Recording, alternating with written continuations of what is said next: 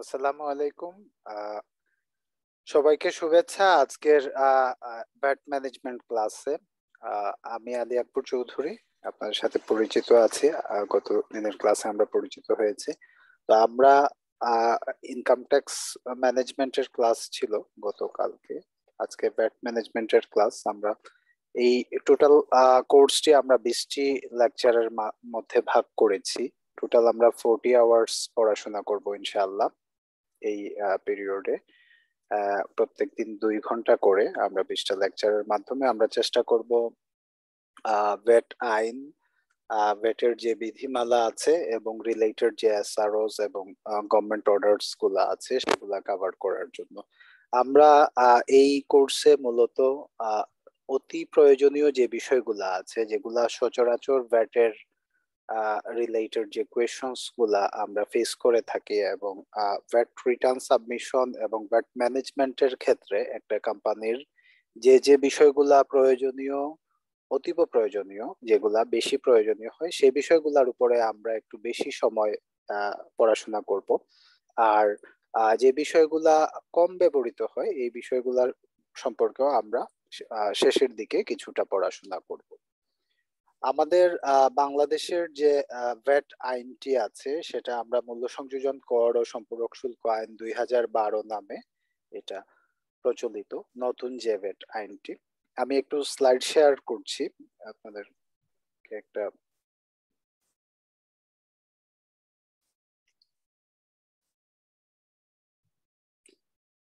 আমি একটি ছোট বই আছে আপনাদেরকে দেখাচ্ছি, সেটা হচ্ছে ভ্যাট অনলাইন প্রজেক্ট যখন শুরু হয় বাংলাদেশে, তখন এই এফএকিউ ভ্যাট এফএকিউ আমরা বলছি, এটাকে এই ভ্যাটের সচরাচর জিজ্ঞাস্য প্রশ্ন।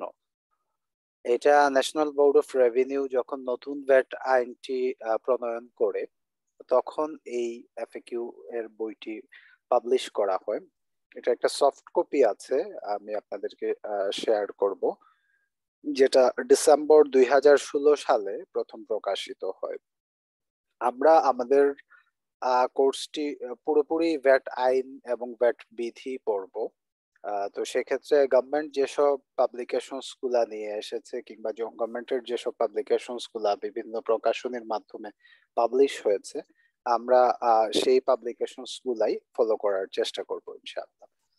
তো এই যে ভ্যাট এফএকিউ যেটা ভ্যাটের সচরাচর জিজ্ঞাস্য প্রশ্ন এই বইটি থেকে আমরা মূলত স্টার্ট করব আমাদের ফ্যাট বিষয়ে পড়াশোনা।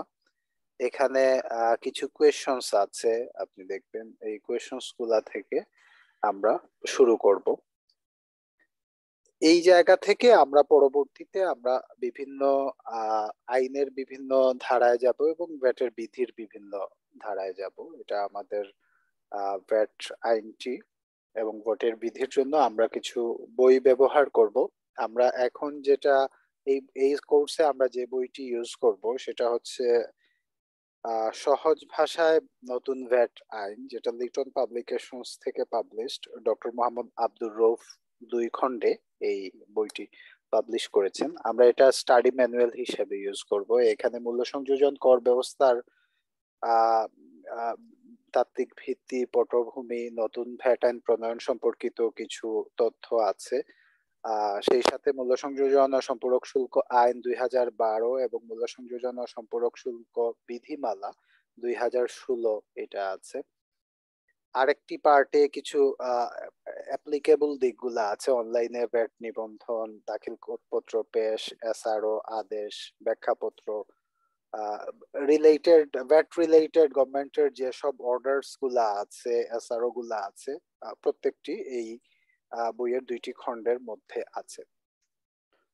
তবে আমরা এই যে ভ্যাট এফএকিউ যেটা আছে, এটার যে আপডেটেড যে পোর্শনটা আছে ভ্যাট এফএকিউ ওই আপডেটেড অংশটা আমরা ইউজ করব হচ্ছে আরেকটি বই থেকে, সেটা হচ্ছে ব্যবসায় ভ্যাট আইনের প্রয়োগ।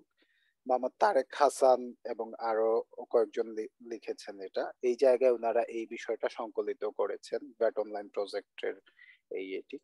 এইটা থেকে আমরা স্টার্ট করব। আমরা কোয়েশ্চনসগুলা সেমই আছে, কিন্তু যেহেতু আইনটা একটু পরিবর্তিত হয়েছে, এটা দুই হাজার ষোলো সালের পাবলিকেশনস যেহেতু একটু পরিবর্তিত হয়েছে, তাই আমরা পরিবর্তিত যেই এটা আছে এফএকিউটা আছে, যেটা ব্যবসায় ভ্যাট আইনের প্রয়োগ বইয়ের মাধ্যমে পাবলিশ হয়েছে, ওই বই থেকে আমরা একটু ফলো করছি। তো সেক্ষেত্রে আমি অন্য একটি স্ক্রিন শেয়ার করছি। আপনারা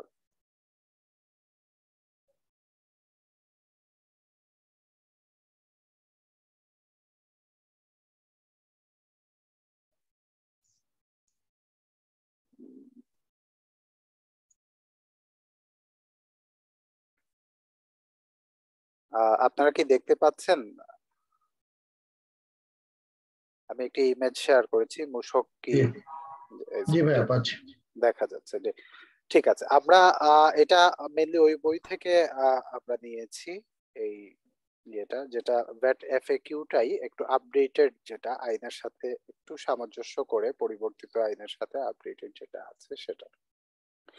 ভ্যাট আইনটি পুরোপুরি বাংলায় লেখা আমাদের দেশে যে ভ্যাট আইনটি আছে আমরা আইনটি যদি দেখতে চাই, আমরা, আমি অন্য একটা স্ক্রিন শেয়ার করছি আপনাদেরকে ভ্যাট আইনটি দেখার জন্য।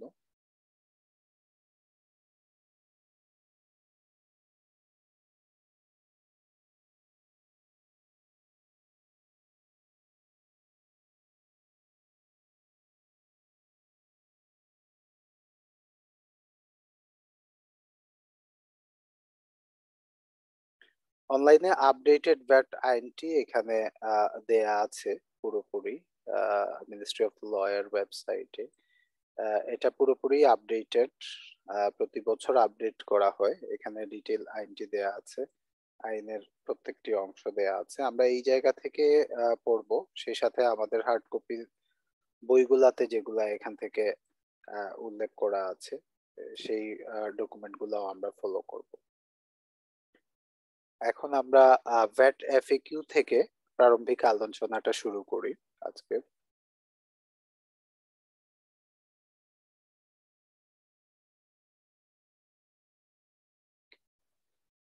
আমি একাডেমিক ডিসকাশনে যাব না। মূল্য সংযোজন কর ব্যবস্থা কীভাবে আসলো এটার উৎপত্তি কি রকম বাংলাদেশে কবে থেকে শুরু হয়েছে এটার যে পটভূমি কিংবা ব্যাট আইন প্রণয়নের যে ধারা, এটি খুব সুন্দরভাবে আমাদের যে স্টাডি টেক্সট আছে ডক্টর মোহাম্মদ আব্দুর রফ স্যারের লেখা, সহজ ভাষায় নতুন ব্যাট আইন আপনারা যেটা সবাই পাবেন, ওই স্টাডি টেক্সটে সুন্দরভাবে দেয়া আছে। আপনারা এই বিষয়টি একবার পড়ে নিলে আমার মনে হয় সহজ হবে। আমি এই আলোচনায় যাচ্ছি না। এখানে বিভিন্ন দেশের ব্যাট আইন সম্পর্কে বলা আছে স্ট্যান্ডার্ড রেট কি আছে বিভিন্ন দেশে ব্যাটের বিভিন্ন দেশে ব্যাটটা কীরকম প্রচলিত হয় ব্যাটের সুবিধা, অসুবিধা, পুরো থিওরিটিক্যাল বিষয়টা আছে এই জায়গায়। আমি এই জিনিসটা আপনারা একটু পড়ে নেবেন। আমরা হয়তো বা শেষের দিকে এই বিষয়ে একটু আলোচনা করব কোর্সের শেষের দিকে। কিন্তু প্রথমেই আমরা একেবারে ব্যবহারিক যে দিকগুলা আছে, ব্যবহারিক দিকগুলা নিয়েই আলোচনা করব। প্রথমত, আমরা ভ্যালু অ্যাডেড ট্যাক্স এটাকে আমরা বলছি মূল্য সংযোজন কর। মূল্য সংযোজন করটাকে সংক্ষেপে মূসক বলা হয় আমাদের দেশে, আপনারা সবাই জানেন। তো মূসক আমরা ডাইরেক্ট এবং ইনডাইরেক্ট ট্যাক্স সম্পর্কে জানি। মূসক হচ্ছে একটি ইনডাইরেক্ট ট্যাক্স ইনডাইরেক্ট ট্যাক্স হচ্ছে যেটা পরোক্ষভাবে ভোক্তা পরিশোধ করে থাকেন নিবন্ধিত ব্যক্তির মাধ্যমে। তো মূসক এমন একটি পরোক্ষ কর যা ভোক্তা নিবন্ধিত ব্যক্তির মাধ্যমে পরিশোধ করেন। তার মানে এটা দাঁড়াল যে মূসক কোনো ব্যবসায়ী প্রতিষ্ঠান মূসকটা পে করে না ব্যাটটা পে করতে হয় ভোক্তাকে। দ্যাট মিনস আমরা যারা সর্বশেষ যে ভোক্তা, তাকেই ভ্যাটটা পে করতে হচ্ছে। তাই এই বিষয়ে আমরা যখন ব্যবসায়ীরা ভ্যাট প্রদান করছেন, ব্যবসায়ীরা আসলে ভ্যাটের কালেকশন এজেন্ট হিসাবে কাজ করছেন এবং ভোক্তাদের কাছ থেকে কনজিউমারদের কাছ থেকে ভ্যাটটা কালেক্ট করছেন কালেক্ট করার পরে গভর্নমেন্টকে সেটা প্রদান করছেন। সরবরাহকৃত পণ্য বা সেবার উপর প্রদেয় করের বিপরীতে উপকরণ কর সমন্বয় করে পণ্য বা সেবার মূল্যস্তরের প্রকৃত সংযোজনের উপর আরোপিত করি ওই পণ্য বা সেবার মূল্য সংযোজন কর বা মূসক। আমরা যে পণ্যটা সরবরাহ করে থাকি কিংবা আমরা যে সেবাটা প্রদান করে থাকি, ওই সেবা বা পণ্যের উপরে যে ট্যাক্সটা অ্যাপ্লিকেবল হয়, এখানে ট্যাক্স বলতেই আমরা ভ্যাট বলব অ্যাপ্লিকেবল হয়, তার বিপরীতে আমরা এই পণ্য বা সেবা আমরা সরবরাহ করার ক্ষেত্রে আমরা পণ্য বা সেবার মূল্য স্তরের যে প্রকৃত সংযোজন হয়, তার উপর আরোপিত করি, ওই পণ্য বা সেবার মূল্য সংযোজন করি। দ্যাট মিনস আমরা প্রোডাক্ট কিংবা সার্ভিসের টোটাল ভ্যালুর উপরে আমরা ভ্যাটটি দিচ্ছি না।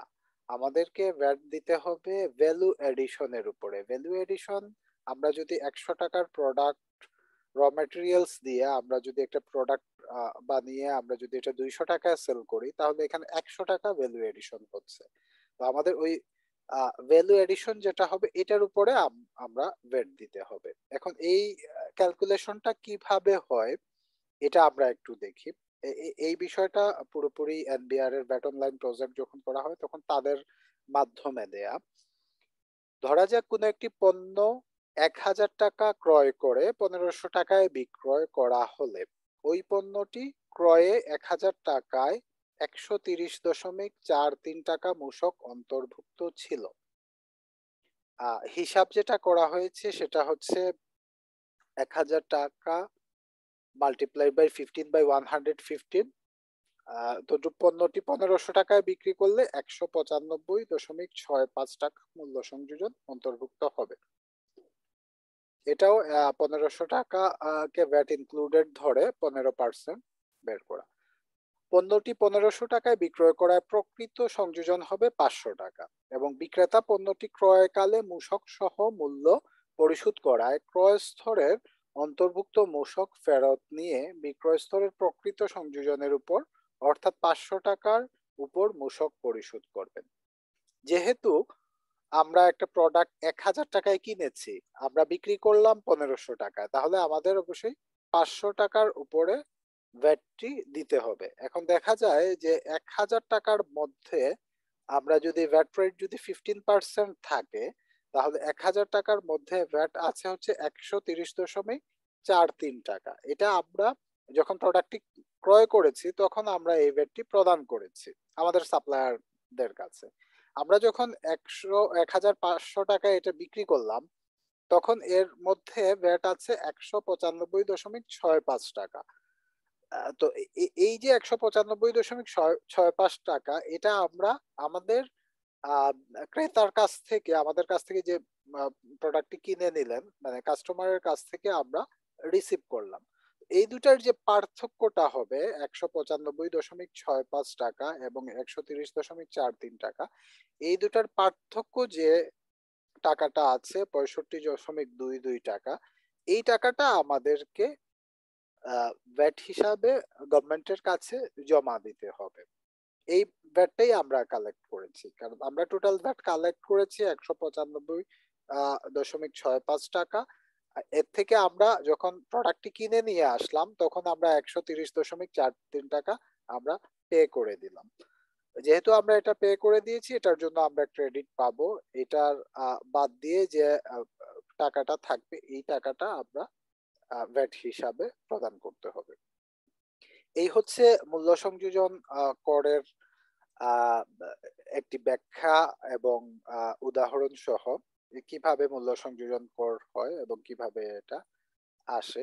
তো এই হিসাবটা আমাদের অ্যাকাউন্টিং এ আমরা যেরকম ভ্যাট এর ক্যালকুলেশন করে থাকি অ্যাকাউন্টিং এর যে অ্যাকাউন্টসগুলা মেনটেন করে থাকি, এটার সাথে পুরোপুরি সামঞ্জস্যপূর্ণ এই হিসাবটি।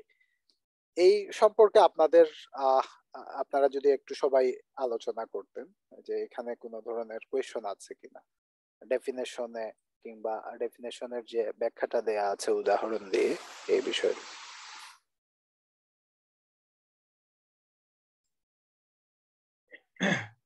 হ্যাঁ আমি যেটা বুঝতে পারলাম বা আমরা সবাই বুঝতে পারলাম, যেটা আমার কাছে মনে হয় যে পনেরোশো টাকা হচ্ছে আমাদের বিক্রয় মূল্য।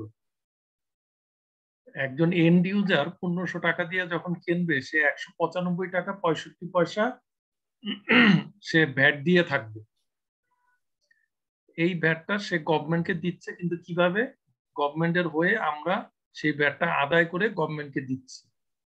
এটার মধ্যে দুইটা পার্ট একটা পার্ট হচ্ছে একশো তিরিশ টাকা তেতাল্লিশ পয়সা আর একটা হচ্ছে পঁয়ষট্টি টাকা বাইশ পয়সা। অর্থাৎ গভর্নমেন্টকে যে একশো পঁচানব্বই টাকা পঁয়ষট্টি পয়সা দিতে হবে প্রাপ্য, সেইটা ফার্স্ট পার্টে গভর্নমেন্ট পেয়ে গেছে যখন প্রোডাক্টটা কেনা হয়েছিল। আর সেকেন্ড পার্টটা গভর্নমেন্ট পাবে যখন প্রোডাক্টটা বিক্রি করা হবে। অর্থাৎ গভর্নমেন্ট দুইবারে একশো পঁচানব্বই টাকা পঁয়ষট্টি পয়সা পাবে। দেবে হচ্ছে ক্রেতা, আর আমরা এই জায়গাতে ধরে নেই যে আমরা হচ্ছে বিক্রেতা। বিক্রেতা গভর্নমেন্টের হয়ে ব্যাটটা আদায় করে গভর্নমেন্টকে দিয়ে ফেরত দিয়ে দিবে। এই হচ্ছে মানে আমার আন্ডারস্ট্যান্ডিং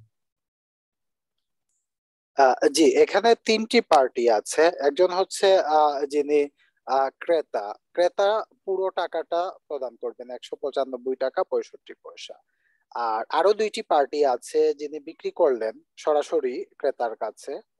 তিনি এই টাকাটি রিসিভ করলেন, কিন্তু উনি যখন পণ্যটি ক্রয় করে এনেছেন ওনার সাপ্লায়ারের কাছ থেকে, তখন উনি একশো তিরিশ টাকা তেতাল্লিশ পয়সা দিয়ে দিয়েছিলেন।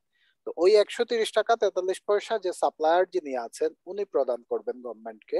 আর পার্থক্য যে টাকাটা থাকবে, ওই টাকাটা বিক্রেতা গভর্নমেন্টের কাছে জমা দেবেন।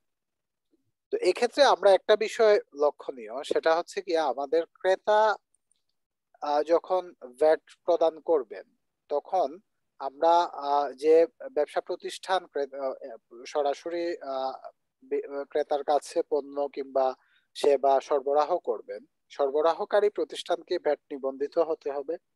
ভ্যাট নিবন্ধিত না হলে ক্রেতা ওনার কাছে ভ্যাট প্রদান করবেন না, প্রথমত।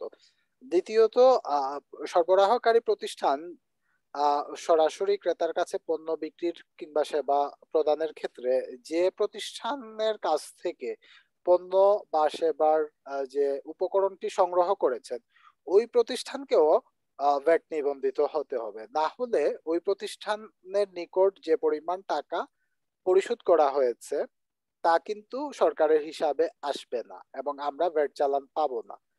তো এই জায়গায় একটা বিষয় লক্ষণীয় যে, আমরা যখন র ম্যাটেরিয়ালস কিনবো কোন প্রোডাক্ট উৎপাদনের জন্য, কোন পণ্য উৎপাদনের জন্য কিংবা আমরা যখন কোন পণ্য বিক্রয়ের জন্য কোন সাপ্লায়ার কাছ থেকে এটা ক্রয় করব, তখন আমাদেরকে দেখতে হবে যে ওই সাপ্লায়ার ভ্যাট নিবন্ধিত কিনা। এটা হচ্ছে প্রাইমারি কন্ডিশন এবং আমরা যে ভ্যাট প্রদান করেছি, এটার চালান আমরা রিসিভ করেছি কিনা। আমরা যদি একশো তিরিশ টাকা তেতাল্লিশ পয়সার চালান আমরা রিসিভ না করি, তাহলে এক্ষেত্রে ভ্যাট কর্তৃপক্ষ আমাদের কাছ থেকে একশো পঁচানব্বই টাকা পঁয়ষট্টি পয়সাই নিয়ে নেবে। আমরা আর এই একশো তিরিশ টাকা তেতাল্লিশ পয়সার জন্য কোনো ক্রেডিট পাবো না। এটা আমরা সমন্বয় করতে পারব না।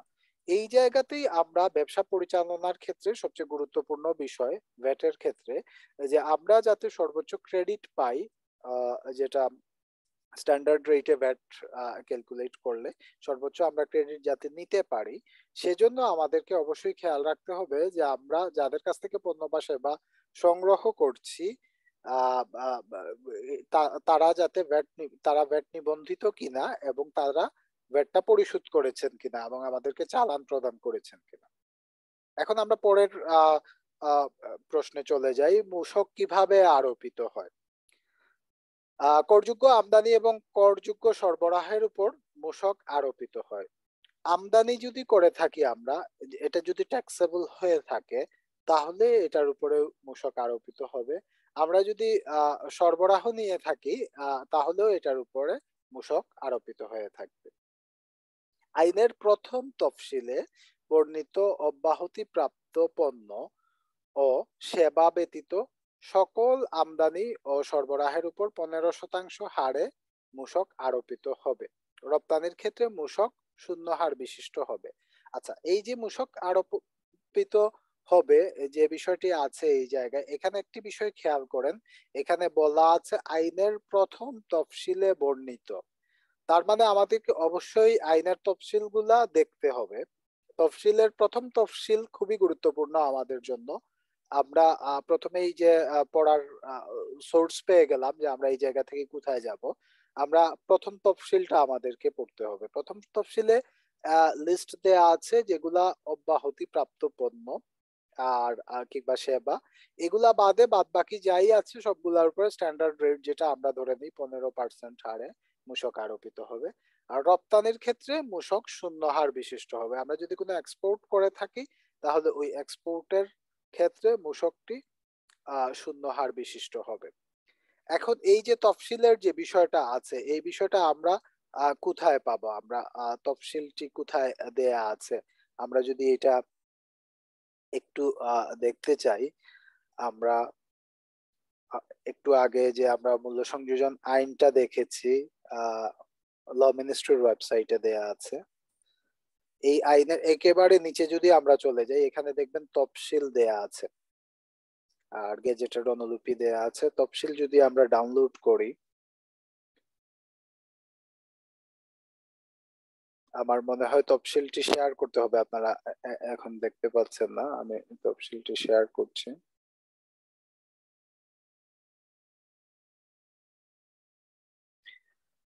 এটা হচ্ছে প্রথম তফসিল। দেখা যাচ্ছে প্রথম তফসিল। এটা হচ্ছে ধারা লিঙ্কগুলি হ্যাঁ, দিয়ে দিয়েন। জি জি আমি লিংক দিয়ে দেব অবশ্যই আপনাদেরকে। আমি এই মিনিস্ট্রি অফ লয়ার যে ওয়েবসাইটে আমরা যেটা স্টাডি করছি আমি এখন লিংকটি শেয়ার করে দিলাম। এটা হচ্ছে প্রথম তফসিল। তাহলে আমরা ভ্যাট যে প্রশ্ন উত্তরের যে ইয়ে ধারাবাহিকতায় আমরা দেখলাম যে প্রথম তফসিল আমাদেরকে পড়তে হবে এবং প্রথম তফসিলটি ধারা ছাব্বিশ অনুযায়ী আছে। তাই ধারা ছাব্বিশটাও আমাদের জন্য গুরুত্বপূর্ণ এখানে। ধারা ছাব্বিশটা আমাদেরকে পড়তে হবে। তো আমরা প্রথম তফসিলে সরাসরি প্রথম খণ্ডে দেয়া আছে মূল্য সংযোজন কর হইতে অব্যাহতিপ্রাপ্ত পণ্য সমূহ এখানে একটা লিস্ট আছে প্রোডাক্টের আমরা যদি এই প্রোডাক্টের লিস্টটা যদি আমরা আমাদের কাছে রাখি, তাহলে আমরা দেখতে পাবো। এখানে প্রোডাক্টের এইচএস কোড সহ পুরো ডেসক্রিপশন দেয়া আছে এখানে। এই প্রোডাক্টগুলা গড় অব্যাহতি প্রাপ্ত মানে এগুলার উপরে কোনো ভ্যাট আসবে না। এখানে একটা লম্বা লিস্ট দেয়া আছে যে প্রোডাক্টগুলার উপরে ভ্যাট আসবে না। এই প্রোডাক্টগুলা আমরা এখানে লিস্ট পেয়ে যাব এবং প্রত্যেক বছর গভর্নমেন্ট যখন ফাইন্যান্স অ্যাক্ট করে বাজেটের সময় প্রত্যেক বছর এই লিস্টে একটু পরিবর্তন আনে। হয়তো নতুন কোনো প্রোডাক্ট এখানে অ্যাড করে, হয়তো কোনো প্রোডাক্ট এখান থেকে বাদ দেয়। প্রত্যেক বছরই এটা চেঞ্জ আসে এবং চেঞ্জ আসার পরে আবার তফসিলটি সংশোধিত আকারে পাবলিশ হয়। এবং এই তফসিলটি আমাদের কাছে ম্যানেজমেন্টের জন্য খুবই গুরুত্বপূর্ণ। এটা একটা প্রিন্টেড কপি আমাদের কাছে থাকতে হবে। তাহলে আমরা খুব ইজিলি দেখতে পাবো যে কোন কোন প্রোডাক্টের উপরে কোনো ভ্যাট নেই। আমরা একটি দীর্ঘ লিস্ট আছে এখানে আমরা টোটাল আমরা পেজ টোয়েন্টি ফাইভ পর্যন্ত লিস্টটি আমরা পেয়েছি। আমি এই তফসিলটি আপনাদেরকে শেয়ার করছি। তবে ভ্যাট নেই বলতে যেমন একটা আইটেম যদি একটু চিন্তা করি যেমন রেশম গুটি পাকাইবার উপযোগী। সে ফর এক্সাম্পল হ্যাঁ পঞ্চাশ দশমিক শূন্য এক আইটেম হ্যাঁ। এখন কোন প্রতিষ্ঠান যদি এটা দিয়ে মানে এটা কীভাবে অ্যাপ্লিকেবল হবে এটা আমাদেরকে একটু বলো মানে আচ্ছা। এক্সাম্পল দিয়ে? প্রথমত এগুলা যখন এখানে বলা আছে আমরা যদি শুরুর দিকে দেখি জি। এখানে আমাদের বলা আছে মূসক মূল্য সংযোজন কর হইতে অব্যাহতি প্রাপ্ত পণ্য। এইসব পণ্যগুলা মূল্য সংযোজন কর হইতে পুরোপুরি অব্যাহতি প্রাপ্ত। দ্যাট মিনস আমরা যদি এইসব পণ্য বিক্রি করি, তাহলে আমরা মূল্য সংযোজন কর কালেক্ট করব না, মূসক কালেক্ট করব না, আমরা যখন বিক্রি করব। আবার আমরা যখন এগুলা কিনে আনব, বিক্রি করার জন্য, সরবরাহকারীর কাছ থেকে, তাহলে আমরা কোনো ধরনের মূল্য সংযোজন কর প্রদান করব না। আমরা যখন এইসব পণ্য আমদানি করব, এখানে অনেক আমদানিযোগ্য পণ্য আছে তখনও আমাদেরকে কোনো প্রকারের মূসক বা ভ্যাট প্রদান করতে হবে না। তো এটার অ্যাপ্লিকেবিলিটি হচ্ছে তিনটা দিকে। প্রথমত আমরা যদি বিক্রি করি, তাহলে আমরা এটা থেকে কোনো ভ্যাট কালেক্ট করতে পারব না। যেহেতু এটা অব্যাহতি প্রাপ্ত আছে, প্রথম তফসিলের প্রথম খণ্ডে বর্ণিত আছে। আমরা যেহেতু বিক্রিতে আমরা বিক্রি করতে হলে হয় আমরা এটা আমদানি করতে হবে কিংবা আমরা এটা কিনতে হবে। তো আমরা যদি আমদানি করি, তাহলে এটাতে ভ্যাট প্রদান করতে হবে না। আবার আমরা যদি কোনো সরবরাহকারীর কাছ থেকে আমরা এটা কিনে নিয়ে আসি তাহলে আমাদেরকে এখানে ভ্যাট প্রদান করতে হবে না। পুরোপুরি no input VAT no output VAT হ্যাঁ ইনপুট ভ্যাটও নাই আউটপুট ভ্যাটও নাই। তবে এই প্রোডাক্টগুলা যদি অন্য কোনো সেবার মাধ্যমে যায় তাহলে ওই নির্দিষ্ট সেবায় যদি আপনার ভ্যাট থেকে থাকে তাহলে এটাতে ভ্যাট আসতে পারে। এই বিষয়ে আমরা পরবর্তীতে আসব।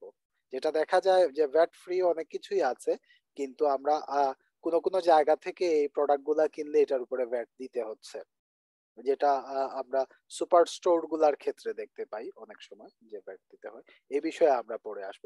কিন্তু কমন যে বিষয় সেটা হচ্ছে এই প্রোডাক্টগুলা ভ্যাট এক্সামটেড এবং এই লিস্টটি প্রত্যেক বছর আপডেট হয়। প্রত্যেক বছর আমরা ফাইন্যান্স সেক্টরের মাধ্যমে এই লিস্টটি আপডেট হয়। তো এই লিস্ট যদি আমাদের কাছে থাকে, তাহলে আমরা জেনে নিতে পারব যে ভ্যাট এক্সামটেড কোনগুলা। পরবর্তীতে আমরা দেখি দ্বিতীয় খণ্ড।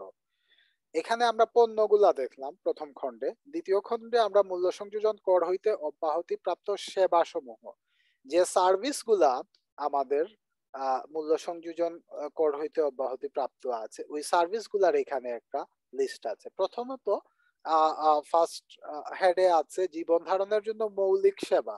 যে বেসিক যে সেবাগুলা আছে কৃষি ভিত্তিক সেবা মূলত এখানে।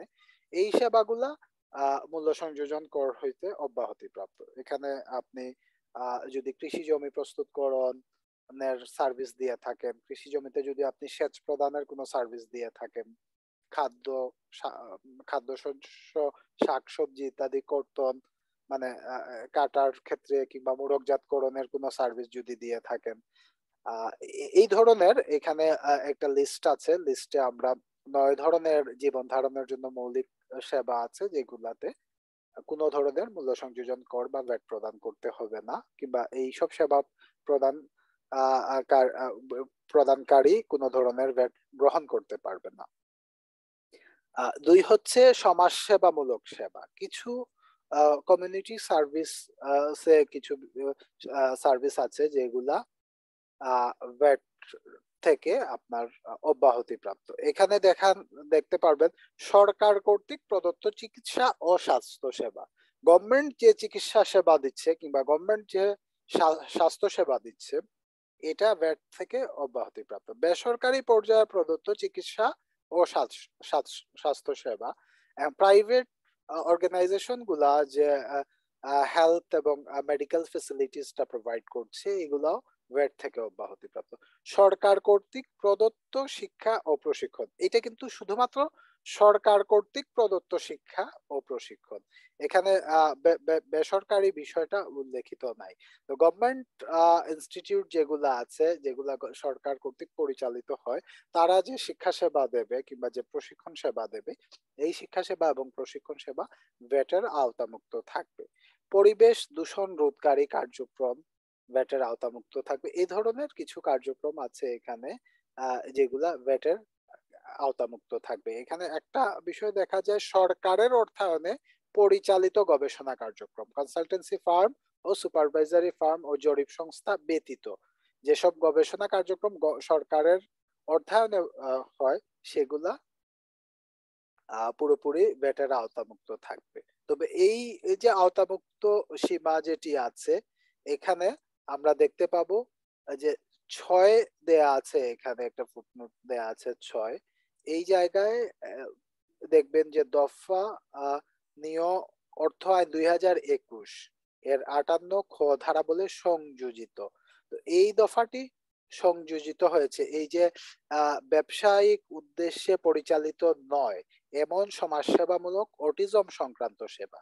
তো দেখা যায় যে প্রত্যেকটি শিডিউলটি প্রত্যেক বছরই কোনো না কোনো ভাবে পরিবর্তিত হয়। কিছু বিষয় নতুন সংযোজিত হয় এবং কিছু বিষয় বাদ দেয়া হয় এখান থেকে। তো এটা আপডেটেড যেহেতু অর্থায়ন দুই হাজার একুশের মাধ্যমে এই অটিজম সার্ভিস যেটি আছে, যেটা ব্যবসায়িক উদ্দেশ্যে পরিচালিত নয়, এটিকে ভ্যাটের আওতামুক্ত করা হয়েছে গত অর্থ আইনের মাধ্যমে। গত দুই হাজার একুশ সালে বাজেটে যে অর্থ আইন হয়েছে ওই অর্থ আইনের মাধ্যমে এটা এসেছে। তো এই সেবাগুলো সমাজসেবামূলক সেবাগুলো ভ্যাটের আওতামুক্ত। এরপরে আমরা যাচ্ছি সংস্কৃতি সংশ্লিষ্ট সেবা। এখানে রেডিও টেলিভিশন সম্প্রচার পুস্তক, সংবাদপত্র ম্যাগাজিন সরকারি গেজেট ছাপা, এইসব বিভিন্ন সেবা যেগুলা ভ্যাটের আওতামুক্ত করা হয়েছে। এখানে দেখবেন অনেকগুলা সেবা ভ্যাটের আওতামুক্ত আছে। আরেকটি সেবার খাত হচ্ছে অর্থ ও আর্থিক বিষয়ে সংশ্লিষ্ট সেবা। ব্যাংক অথবা আর্থিক প্রতিষ্ঠান কর্তৃক আমানত ও সঞ্চয় গ্রহণ।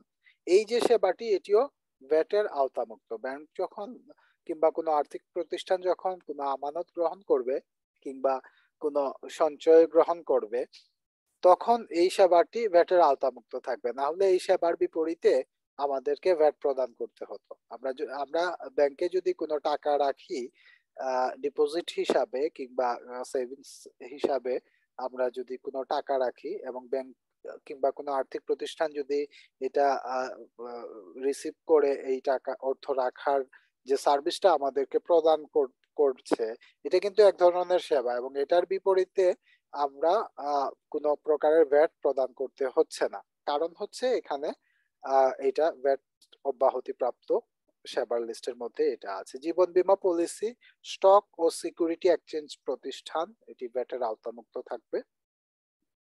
শেয়ার ক্রয় বিক্রয় নিষ্পত্তি সংক্রান্ত কার্যক্রম। এখন দেখেন এখানে আট লেখা আছে। আমরা যদি দেখি ফুটনোটে গিয়ে আটে এখানে দেয়া আছে, এটা দুই হাজার বিশ সালের অর্থ আইনে ধারা বলে সংযোজিত হয়েছে। তো দেখা যায় যে আমাদের এই যে শিডিউলটি আছে, প্রথম তফসিল এই প্রথম তফসিলের আমরা যে বিষয়গুলো অন্তর্ভুক্ত আছে তা প্রত্যেক বছরই অর্থ আইনের মাধ্যমে পরিবর্তিত হয়। তার মানে আমরা এখন যে যে শিডিউলটি দেখছি, এটি আপডেটেড শিডিউল আগামী বছরে যে অর্থ আইন হবে, এই বছরে আমরা অর্থ আইন দুই হাজার বাইশ যখন হবে, তখন আমরা দেখতে পাবো যে এটাতে আরও কিছু পরিবর্তন এসেছে। তখন আমরা আপডেটেড যে শিডিউলটি আছে, ওই শিডিউলটি আমরা আবার অনলাইনে পাবো আপডেট হবে কিংবা পাবলিকেশন আকারে আসে। কিংবা আমরা নতুন শিডিউল পাবলিশ হয় অনেক সময় অর্থ আইনের মধ্যেই নতুন শিডিউলটি থাকে। তো ওই জায়গায় আমরা এটা দেখতে পাবো। পরিবহন সেবা বার মধ্যে কিছু খাত আছে যেগুলা ব্যাটার আওতামুক্ত থাকবে। এখানে যাত্রী পরিবহন সেবা, শীতাতপ নিয়ন্ত্রিত মানে air condition bus launch railway service যানবাহন ভাড়া প্রদানকারী ব্যতীত যে যাত্রী পরিবহন সেবা আছে, আমরা যদি নর্মাল কোনো নন এসি বাসে চলি, তাহলে এটার ভাড়া কম হয় কারণ এতে ভ্যাট অন্তর্ভুক্ত থাকে না। পণ্য পরিবহন সেবা ভ্যাটের অন্তর্ভুক্ত নয়।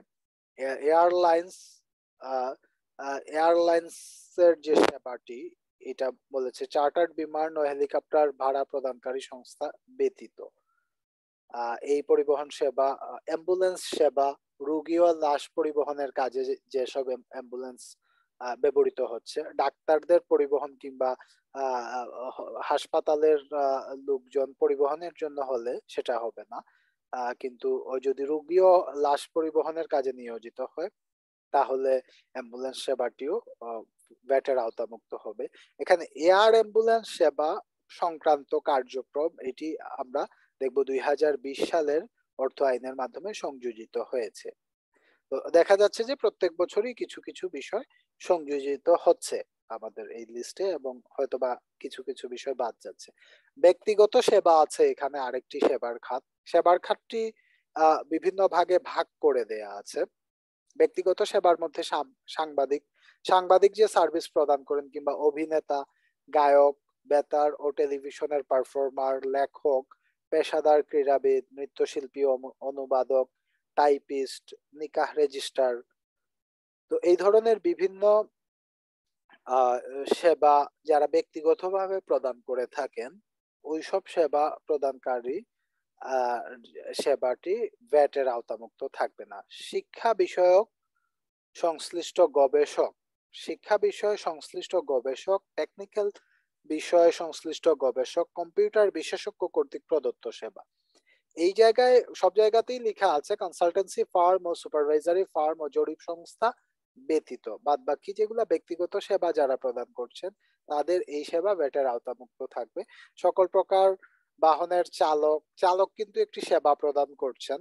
অভ্যন্তরীণ নৌ নৌপথের পাইলট সহ হারবার পাইলট কর্তৃক প্রদত্ত সেবা। এই সেবাগুলাও ডিজাইনার কর্তৃক প্রদত্ত সেবা। এখানে আর্কিটেক্ট ইন্টেরিয়র ডিজাইনার বা interior decorator graphic designer engineering firm consultancy firm ও সুপারভাইজারি ফার্ম ব্যতীত। যে যে জায়গায় এক্সক্লুশন আছে তা ক্লিয়ারলি মেনশন করা আছে। এই হচ্ছে ছয়টি খাত। ছয়টির পরে যেসব খাতগুলো আছে, এটা একটি হেডের মধ্যে দেয়া আছে, সেটা হচ্ছে অন্যান্য সেবা। এখানে ধর্মীয় আচার অনুষ্ঠান, স্থান স্থাপনা, প্রদত্ত সেবা, ডাক যোগাযোগ সেবা, জনস্বার্থে সকল প্রকার দাতব্য বৈজ্ঞানিক সেবা কার্যক্রম। এই ধরনের বিভিন্ন কার্যক্রম ইনক্লুডেড আছে, যে কার্যক্রমগুলা সেবামূলক কার্যক্রমগুলা এখানে মূল্য সংযোজন করের আওতামুক্ত। এই হচ্ছে আমাদের প্রথম তফসিলে যে সেবাগুলা বলা আছে মূল্য সংযোজন প্রথম খণ্ড, প্রথম তফসিলের প্রথম খণ্ড মূল্য সংযোজন কর হইতে অব্যাহতিপ্রাপ্ত পণ্য সমূহ দ্বিতীয় খণ্ডতে আমরা গিয়ে দেখলাম মূল্য সংযোজন কর হইতে অব্যাহতিপ্রাপ্ত সেবা সমূহ এটা হচ্ছে দ্বিতীয় খণ্ড মূল্য সংযোজন কর হইতে অব্যাহতিপ্রাপ্ত সেবা সমূহ দ্বিতীয় খণ্ডটি আমরা দেখলাম। এরপরে আমরা একটা এক্সাম্পল নিয়ে কি একটু কথা বলা যায়? জি জি আমরা পরিবহনটাতে যদি একটু যান তাহলে মনে একটু সুবিধা হবে। হ্যাঁ আমরা পরিবহন সেবাতে হ্যাঁ, আমরা একটু দেখতে সে ফর এক্সাম্পল মানে কোন একটা প্রতিষ্ঠান একটা পণ্য যাত্রী পরিবহন সেবা নিল। ঠিক আছে? যে তাদের এমপ্লয়িরা ঢাকার বাইরে যাবে সেলস ফোর্স সে ওই যাত্রী পরিবহনটা আপনার শীতাতপ নিয়ন্ত্রিত ছিল না। ঠিক আছে? তাহলে তো এদিকে ভ্যাটের কোনো ইস্যু না। ইনপুট লেভেলে অর্থাৎ এই কোম্পানিটা সে আমাদের কোম্পানি একটা সার্ভিস নিল, একটা বাস ওইটা নন এসি ঠিক আছে? তো বিল করল ধরেন বিশ হাজার টাকা, তিন দিনের জন্য, কথার কথা। তাহলে ওই যে পরিবহন সেবা যারা দিল সে তো আর মূসক সহ তার বিল করার কোনো প্রয়োজন নাই। প্রয়োজন নাই। কিন্তু ওই বাসটাই যদি আবার এসি হয় বিল ধরেন হয়ে গেল তিরিশ হাজার টাকা সে। তাহলে তাকে মূসক দিতে হবে। জি অবশ্যই সেবাগ্রহিতা যিনি একটা কোম্পানি যদি তার এমপ্লয়ীদের জন্য শীতাতপ নিয়ন্ত্রিত বাসে কিংবা এয়ার কন্ডিশন বাসে যদি টিকিট করে দেন মনে করেন দশ জন এমপ্লয়ি যাচ্ছেন এখানে দশ হাজার টাকা খরচ হলো। এখানে মনে করেন একটা ভ্যাট চার্জ হলো মনে করেন পনেরোশো টাকা ভ্যাট চার্জ। হলো। তাহলে দশ হাজার এগারো হাজার পাঁচশো টাকা প্রদান করতে হবে। ওই সার্ভিস হ্যাঁ। যিনি রিসিভ করলেন ওনাকে এবং ওই এক হাজার পাঁচশো টাকা ওই পরিবহন কোম্পানি সরকারের কাছে জমা দেবে ব্যাট হিসাবে। হ্যাঁ ওই পরিবহন কোম্পানি। তাহলে এখন ধরেন কোন একটা কোম্পানি সে আমরা এই সার্ভিসটা নিলাম তেরো হাজার টাকা আমরা ভ্যাট দিলাম দশ হাজার টাকা আমরা মানে গাড়ির ভাড়া দিলাম। টোটাল এগারো হাজার পাঁচশো টাকা। এখন এই ভ্যাটটা পরবর্তীতে রিবেটের বিষয়টা নিয়ে তো আমরা পরে ডিসকাস করব তাই না? বা রিবেটের সুযোগ আছে কি এই ভ্যাটটি রিবেটের সুযোগ আছে কি না এই এই জায়গাতে আমাদের ভ্যাট আইনের সাথে কিছুটা আমরা অ্যাকাউন্টিং এ যে ভ্যাট বলি কিংবা আমরা ইন্টারন্যাশনাল অ্যাকাউন্টিং স্ট্যান্ডার্ড অনুযায়ী আমরা যে যেভাবে ক্যালকুলেশন করে থাকি কিংবা আইএফআরএস অনুযায়ী যেভাবে আমরা হিসাব স্টেটমেন্টগুলা প্রিপেয়ার করে থাকি এই জায়গায় একটু তারতম্য আছে। কারণ ভ্যাটের ক্ষেত্রে উপকরণের সংজ্ঞা কিন্তু আলাদা। মনে করেন একটি একটি ম্যানুফ্যাকচারিং কনসার্ন শুধুমাত্র কি কি উপকরণের উপরে রেয়াত পেতে পারে প্রদেয় ভ্যাট তা কিন্তু নির্দিষ্ট করা আছে। তো দেখা যায় যে বাংলাদেশের ভ্যাট আইনে আপনি সব ধরনের ভ্যাট থেকে রেয়াত সুবিধা পাবেন না। যেটা অন্যান্য বিভিন্ন দেশের আইনের মধ্যে পার্থক্য আছে। আপনি যদি ইউকে তে ভ্যাট আইনটা চিন্তা করেন ইউকের ভ্যাট আইনের ক্ষেত্রে দেখা যাবে যে সব ধরনের ভ্যাটই রিবেট পাওয়া যায়। সব ধরনের খরচ থেকে ভ্যাট রিবেট পাওয়া যায়। কিন্তু আমাদের এই জায়গায় সুনির্দিষ্ট করে ফেলায় এখানে একটু কনফিউশন ক্রিয়েট হয়ে যায় যে কোনটা আমরা উপকরণ হিসাবে ধরতে পারব কোনটি কোনটা উপকরণ হিসাবে ধরতে পারব না। এবং দেখা যায় কিছু কিছু কোম্পানির ক্ষেত্রে যাদের বড় বড় ভ্যাট পেমেন্ট থাকে যেগুলো উপকরণ হিসাবে তারা ধরতে পারছেন না আইনের এই বিষয়টি উপকরণের সংজ্ঞায় না থাকার কারণে। তো এই জিনিসটা খুবই ইন্টারেস্টিং জিনিস আমরা এটা নিয়ে আলোচনা করব ইনশাআল্লাহ পরের ফেজে আমরা এখন একটু দেখলাম যে আমরা প্রথম তফসিলের প্রথম খণ্ডে কি আছে? আমরা যেহেতু তফসিলটি দেখছি, আমরা তফসিলটি আর একটু অ্যাডভান্স হয়ে যাচ্ছি। আমরা পরবর্তীতে কি আছে? আমরা দেখলাম যে কিছু পণ্য এবং সেবার একটা লিস্ট আছে ক্লিয়ারলি আপনাদের কাছে যদি এই লিস্টটি থাকে, তাহলে আপনারা একেবারেই ক্লিয়ার থাকবেন যে কি কি সেবা কিংবা পণ্যের উপরে কোনো ভ্যাট দিতে হবে না। এটা একেবারেই সুনির্দিষ্ট। এটা প্রত্যেক বছরই পরিবর্তনশীল। বিধায় এটা একটা যদি প্রিন্টেড কপি প্রত্যেক বছরে আপডেটেড কপি থাকে, তাহলে আপনি সুনিশ্চিত ভাবে বলতে পারবেন যে এই এই বিষয়ে এই এই এই সেবা এবং এই এই ধরনের পণ্যের ক্ষেত্রে কোনো ভ্যাট দিতে হবে না। এখন আমরা একটু দ্বিতীয় তফসিলে দেখি, আমদানি পর্যায়ে সম্পূরক শুল্ক আরোপযোগ্য পণ্য কি কি? এই তফসিলটি আমরা পরবর্তীতে আলোচনা করব। আমদানি পর্যায়ে সম্পূরক শুল্ক আরোপযোগ্য পণ্য সমূহ পরবর্তীতে আমরা এটিতে আসব। আমরা আবার ফেরত যাচ্ছি আমাদের যে ভ্যাট এফএকিউটা আছে ভ্যাট এফএকিউ এর স্লাইডে আমরা আবার চলে যাচ্ছি। আমরা তাহলে এখানে দুইটি প্রশ্নের উত্তর দেখলাম। মূসক কি আর মূসক কীভাবে আরোপিত হয়? মূসকের আদর্শ যে হার আছে পনেরো শতাংশ। আমরা দেখলাম যে আইনের প্রথম তফসিলে বর্ণিত অব্যাহতি প্রাপ্ত পণ্য ও সেবা ব্যতীত সকল আমদানি ও সরবরাহের উপর পনেরো শতাংশ হারে মূসক আরোপিত হবে। রপ্তানির ক্ষেত্রে মূসক আর শূন্য হবে। আমরা এই বিষয়টি ক্লিয়ার হলাম এখানে। এখন আমরা পরের বিষয় হচ্ছে মূসক কে পরিশোধ করেন?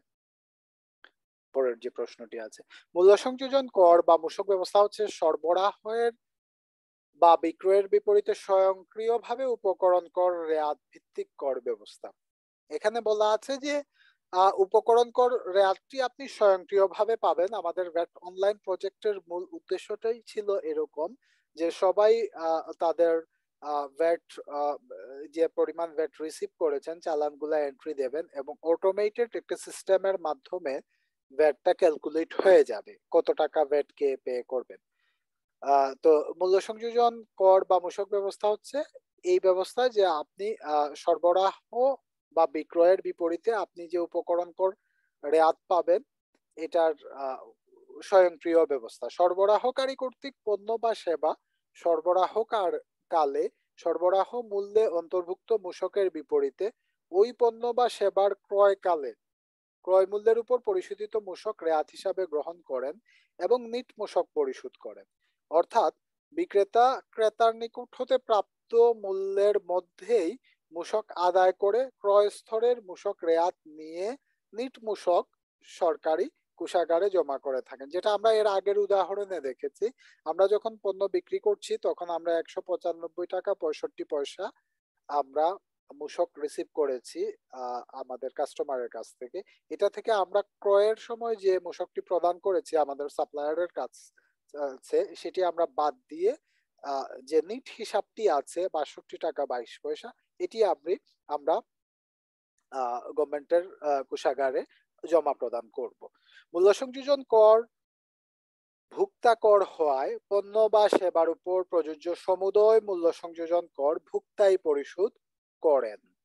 মধ্যবর্তী প্রক্রিয়া হিসাবে উৎপাদনকারী, সরবরাহকারী, সবাই প্রত্যেকটি ধাপে বিক্রয় স্তরে সরকারের পক্ষে মূসক আদায় করে সরকারি কোষাগারে জমা প্রদান করেন।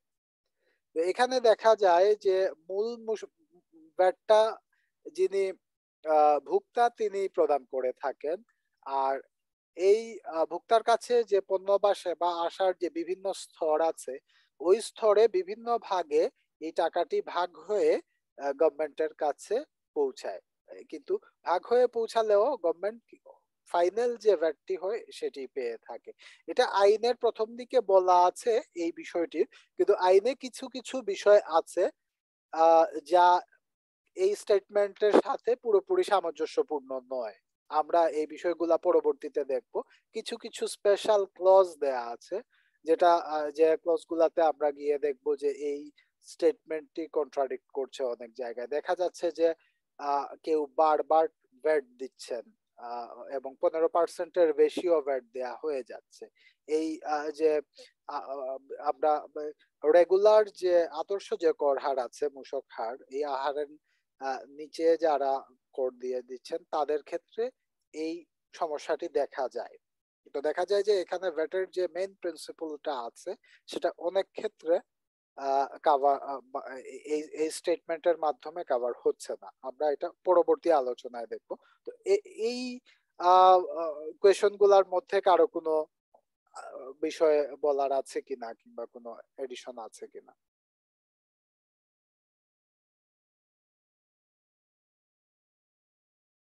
আমার মনে হয় এটা মোটামুটি আমাদের প্রথম প্রশ্নের মাধ্যমেই ক্লিয়ার হয়েছে। তো আমরা যদি আমাদের কাছে যদি এখানে প্রথম তফসিল যেটা, আইনের, এই প্রথম তফসিল যদি থাকে, তাহলে আমরা মোটামুটি ভ্যাট কোন পণ্য বা সেবার উপরে কত পার্সেন্ট ভ্যাট হবে আমরা বলে দিতে পারব। প্রথম তফসিলে যা আছে, তা হচ্ছে জিরো রেট এক্সপোর্টের ক্ষেত্রে জিরো রেট বাদ বাকি সব পনেরো শতাংশ। আপাতত আমাদের নলেজটি এতটুকু হলো। পরবর্তীতে আমরা হয়তো আরও নতুন কিছু বিষয় জানতে পারব। আমি পরবর্তী প্রশ্নে গেলাম মূসক দাতাকে এটা কি দেখা যাচ্ছে? মূসক দাতাকে মূল্য সংযোজন কর ব্যবস্থায় পণ্য বা সেবার সর্বশেষ ভোক্তা হলেন মূসক দাতা যিনি পণ্য বা সেবাটি ভোগ করে থাকেন উনি হচ্ছেন মূসক দাতা ভোক্তা। সরবরাহকারী বা বিক্রেতা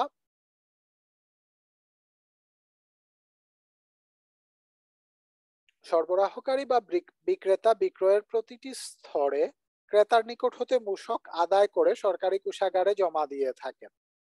এখানে আমরা সরবরাহকারী বা বিক্রেতা কিন্তু প্রতিটি স্তরে মূসক আদায় করছেন এবং সরকারি কোষাগারে জমা দিচ্ছেন। যেহেতু ভুক্তাই হলেন সর্বশেষ ক্রেতা, সেহেতু চূড়ান্ত মূসক ভার ভুক্তার উপরই বর্তায়।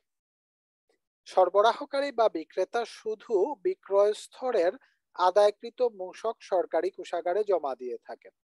এটাই আমাদের ভ্যাট আইনের কিংবা ভ্যাটের যে ইন্টারন্যাশনালি যে ডেফিনেশনে আছে যে ভুক্তাই ভ্যাট দিবেন, এটা পরোক্ষ কর তাই তাতে দেখা যায় যে ভুক্তাই হচ্ছেন ভ্যাট দাতা কিংবা মূসক দাতা কিন্তু কিছু কিছু ক্ষেত্রে এখানে একটু ব্যতিক্রম দেখা যায়। কিছু কিছু ক্ষেত্রে যেটা আইনের কয়েকটি ধারা রায় আছে, আমরা পরবর্তীতে দেখব এই ব্যতিক্রমগুলা কীভাবে হয়। আমি কেন মূসক পরিশোধ করব? এখানে একটি বিষয় দেয়া আছে যে মূসক কেন পরিশোধ করবেন? এখানে আমরা যারা ভুক্তা ভুক্তা হিসাবে আমরা রাষ্ট্রীয় আইন প্রতিপালনে কর প্রদান একজন নাগরিকের নৈতিক দায়িত্ব। আমরা জানি যে আমাদের দেশের আর্থ সামাজিক সকল উন্নয়নের কাজ করের টাকা দিয়ে সম্পন্ন হয়। তাই দেশের উন্নয়নে অংশগ্রহণ করা নাগরিক ও আইনগত দায়িত্ব। আমরা যে বাংলাদেশের যে বিভিন্ন ডেভেলপমেন্ট হচ্ছে কিংবা বিভিন্ন কার্যক্রম হচ্ছে, আমাদের পুরো বাজেটটার একটা বড় অংশ আমাদের ইনকাম ট্যাক্স এবং ভ্যাটের উপর নির্ভরশীল এবং ভ্যাটের উপরেই একটা বড় অংশ নির্ভরশীল। তাই আমরা যদি সঠিকভাবে মূসক প্রদান না করি ভুক্তা হিসাবে, তাহলে আমাদের দেশের উন্নতি, উন্নয়নে এই অর্থটি ব্যবহার করা কঠিন হয়ে যাবে। তখন বাজেটে ভর্তুকি কিংবা বাজেটে ঘাটতি দেখা যাবে। বাজেটে ঘাটতি দেখা যাবে। বাংলাদেশে কখন মূসক চালু হয় এটা আমাদের জানা আছে। উনিশশো একানব্বই সালে পয়লা জুলাই মূল্য সংযোজন কর ব্যবস্থা চালু হয়। আর দুই হাজার উনিশ সালের এক জুলাই হতে নতুন ভ্যাট আইন চালু হয়েছে। আমরা এখন নতুন ভ্যাট আইন পড়ছি। নতুন ভ্যাট আইন দুই হাজার উনিশ সালে এক জুলাই হতে চালু হয়েছে। মূসকের হার কত? মূসকের হার কত? এই কোয়েশনে আমরা আদর্শ হার যেটি আছে মূসকের এখানে আদর্শ হারটি আমরা জানি পনেরো পার্সেন্ট আমরা এই আদর্শ হারটি মূসকের হার হিসাবে ধরব। আমদানি ও সরবরাহের ক্ষেত্রে মূসকের হার পনেরো পার্সেন্ট এবং রপ্তানির ক্ষেত্রে মূসকের হার শূন্য পার্সেন্ট বাংলাদেশ থেকে যদি কোনো পণ্য বা সেবা রপ্তানি করা হয়, তাহলে সেক্ষেত্রে মূসক শূন্য পার্সেন্ট হারে কার্যকর হবে। আর আমদানির ক্ষেত্রে কিংবা সরবরাহের ক্ষেত্রে মূসকের হার পনেরো পার্সেন্ট এছাড়া তৃতীয় তফসিলের মাধ্যমে কতিপয় পণ্য ও সেবার ক্ষেত্রে সুনির্দিষ্ট কর ও হ্রাসকৃত হারে মূসক আরোপ করা হয়েছে। দেখেন, এখানে আরেকটা ইন্টারেস্টিং বিষয় আমরা দেখলাম। আগে আমরা দেখেছি প্রথম তফসিল। আমরা জানি যে স্ট্যান্ডার্ড রেট হচ্ছে ব্যাটের ফিফটিন পার্সেন্ট ফিফটিন পার্সেন্ট থেকে প্রথমে বলা হলো যে, প্রথম তফসিলে যা আছে পণ্য বা সেবা, সেগুলা আমরা সেগুলাতে কোনো ভ্যাট হবে না জিরো রেট আবার এক্সপোর্টের ক্ষেত্রে জিরো রেট এখন আবার আমরা নতুন একটা বিষয় দেখতে পেলাম যে তৃতীয় তফসিলে কিছু পণ্য এবং সেবার কথা বলা আছে এবং সেক্ষেত্রে সুনির্দিষ্ট কর ও হ্রাসকৃত হারে মূসক আরোপ করা হয়েছে। সুনির্দিষ্ট করও আছে, আবার কিছু হ্রাসকৃত হারও আছে। তাহলে আমরা এখান থেকে আবার চলে যাব তৃতীয় তফসিলে। আমরা তাহলে একটু তফসিলে গিয়ে দেখি এখানে কি পাওয়া যায়? আমরা এখানে দ্বিতীয় তফসিলটা আছে, এটা আমরা বাদ দিয়ে যাচ্ছি। তফসিলে আমরা প্রথম তফসিল পড়ে ফেলেছি। আমরা এখন তৃতীয় তফসিলে চলে যাব সরাসরি। তফসিলটি সবচেয়ে গুরুত্বপূর্ণ ব্যাটের ক্ষেত্রে, আমি মনে করি। এই যে একটা প্রাথমিক ধারণার জন্য এবং এটা একটা সাপোর্টিং ডকুমেন্ট হিসাবে খুবই গুরুত্বপূর্ণ। এতে করে আমরা খুব সহজেই ভ্যাটের হারগুলা জানতে পারি। দ্বিতীয় তফসিলে আমরা পরবর্তীতে যখন আমাদের দ্বিতীয় তফসিলে আসব আমরা পরবর্তীতে, আমরা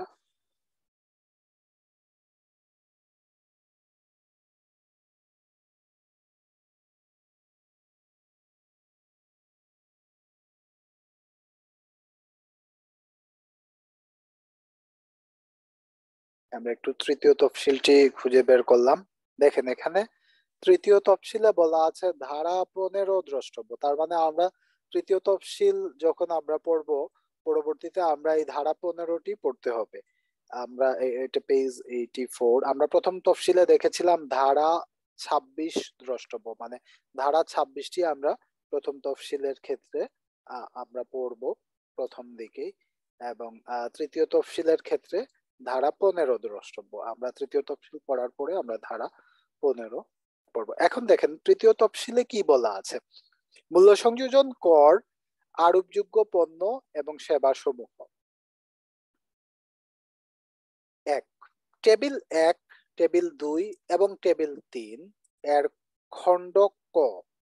এর কলাম এক ও দুইয়ে উল্লিখিত customs act nineteen sixty nine এর ফার্স্ট শিডিউলের যথাক্রমে শিরোনাম বা সংখ্যা হেডিং নাম্বার এবং উহাদের সামঞ্জস্যপূর্ণ নামকরণ কোড এইচএস কোডের আওতাধীন কলাম তিনে বর্ণিত পণ্যসমূহের বিপরীতে এবং উক্ত টেবিল সমূহে খণ্ড দুই এর এক ও দুই এ উল্লেখিত শিরোনাম বা সংখ্যা এবং উহাদের সেবা কোড এর আওতাধীন কলাম তিনে বর্ণিত সেবাসমূহের বিপরীতে কেবলমাত্র স্থানীয় সরবরাহের ক্ষেত্রে কলাম চারে বর্ণিত হারে মূল্য সংযোজন কর আরোপিত হবে।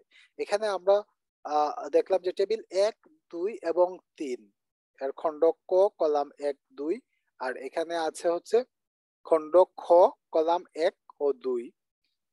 এখানে আমরা যদি একটু টেবিল এক দেখি, তাহলে এখানে দেখা যাবে যে শিরোনামা সংখ্যা মানে হেডিং নাম্বার এবং সামঞ্জস্যপূর্ণ নামকরণ কোড হচ্ছে এইচএস কোড আমরা মূসক টেবিল একে সরাসরি দেয়া আছে পণ্য সামগ্রীর বিবরণ, মূল্য সংযোজন কর, হার। এখানে দেখেন, তরল দুধ থেকে গুড়া দুধ উৎপাদন। তরল দুধ থেকে যদি কেউ গুড়া দুধ উৎপাদন করে থাকেন, তাহলে সেটা ট্যাক্স ফ্রিও হবে না। আবার আমরা যে আদর্শ কর, হার পনেরো পার্সেন্ট স্ট্যান্ডার্ড ব্যাটারি সেটাও হবে না। এক্ষেত্রে মূল্য সংযোজন কর, হার হবে পাঁচ পার্সেন্ট ফাইভ পার্সেন্ট হবে মূল্য সংযোজন কর হার এটা সুনির্দিষ্ট, বলা আছে। গুঁড়া মরিচ ধনিয়া, আদা, হলুদ বা এ সকল মশলার মিশ্রণ পাঁচ পার্সেন্ট এভাবে একটা লিস্ট দেয়া আছে যেগুলার উপরে পাঁচ পার্সেন্ট হারে আছে। আমের জুস ম্যাঙ্গো জুস পাঁচ পার্সেন্ট আনারসের জুস পেয়ারার জুস এলপি গ্যাস মানে এখানে অনেকগুলা লিস্টে অনেকগুলা দেয়া আছে যেগুলা উপরে পাঁচ পার্সেন্ট হারে কর প্রযোজ্য হবে। মূল্য সংযোজন কর। আমরা পুরো লিস্টটি দেখলাম। এই লিস্টটি তে আমরা আরও আরও কিছু বিষয় আছে। পাঁচ পার্সেন্ট হারে এখানে অনেকগুলো সুনির্দিষ্ট করা আছে যে পাঁচ পার্সেন্ট হারে কিংবা যে হারটি সুনির্দিষ্ট আছে, আমরা পরবর্তীতে গিয়ে দেখব এটা। লম্বা একটা লিস্ট আছে। টিউব লাইট আঠারো ওয়াট থেকে ছত্রিশ ওয়াটের টিউব লাইট পাঁচ পার্সেন্ট এখানে বাসের ক্ষেত্রে বলা আছে। ল্যান্ডিং ক্রাফট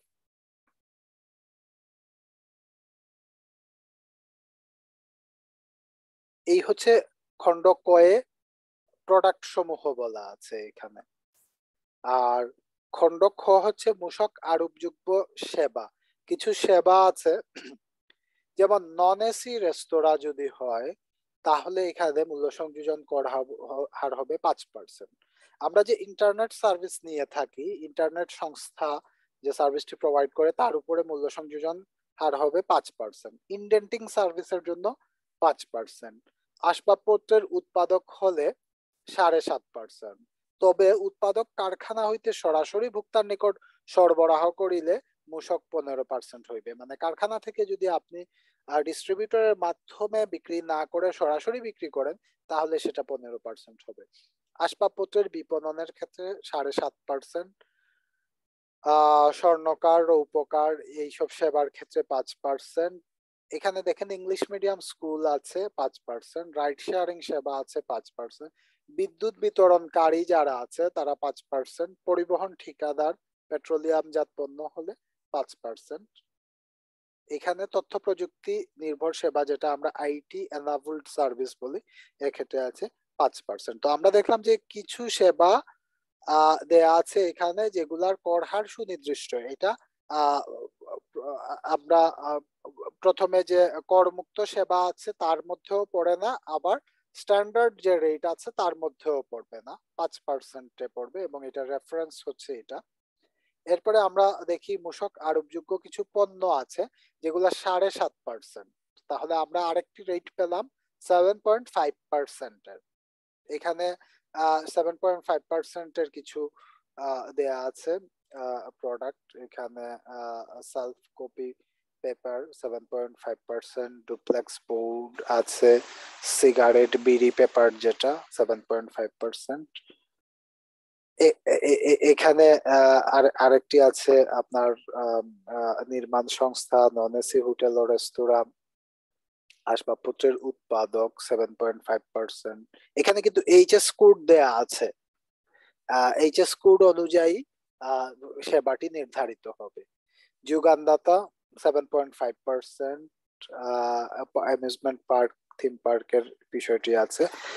আবার আরেকটি আছে টেবিল তিন। টেবিল তিনে খণ্ড ক মূসক আরোপযোগ্য পণ্য। এখানে আরও কিছু পণ্য আছে, যেগুলো দশ পার্সেন্ট বৈদ্যুতিক খুঁটি ইলেকট্রিক পোল স্টিল প্লেট দ্বারা উৎপাদিত, যেটি এখানে। আবার আরেকটি আছে মূসক আরোপযোগ্য সেবা। এখানে দেখেন এসি রেস্তোরাঁ যেটি আছে, এসি রেস্তোরাঁর ক্ষেত্রে দশ পার্সেন্ট দেওয়া হয়েছে। আর এর আগে আমরা দেখেছি আর আরেকটি জায়গায় এটা হচ্ছে এসি হোটেল ও রেস্তোরাঁ। এসি হোটেল ও রেস্তোরাঁ এটা হচ্ছে সাড়ে সাত পার্সেন্ট এটার এইচএস কোড দেয়া আছে এখানে সেবার sorry non AC non AC hotel ও রেস্তোরাঁ এটা হচ্ছে সাড়ে সাত পার্সেন্ট আর যদি আমরা এসি রেস্তোরাঁ হয় তাহলে সেটা দশ পার্সেন্ট হবে। এখানে মোটর গাড়ির গ্যারেজ দশ পার্সেন্ট ডকইয়ার্ড ছাপাখানা, এভাবে আমরা দশ পার্সেন্টের কিছু সেবা দেখছি, এখানে দেয়া আছে সেবাগুলা, দশ পার্সেন্ট প্রতি বছর আমরা অর্থ আইদের মাধ্যমে এই রেটগুলা চেঞ্জ হয়, প্রতি বছরই চেঞ্জ হয়।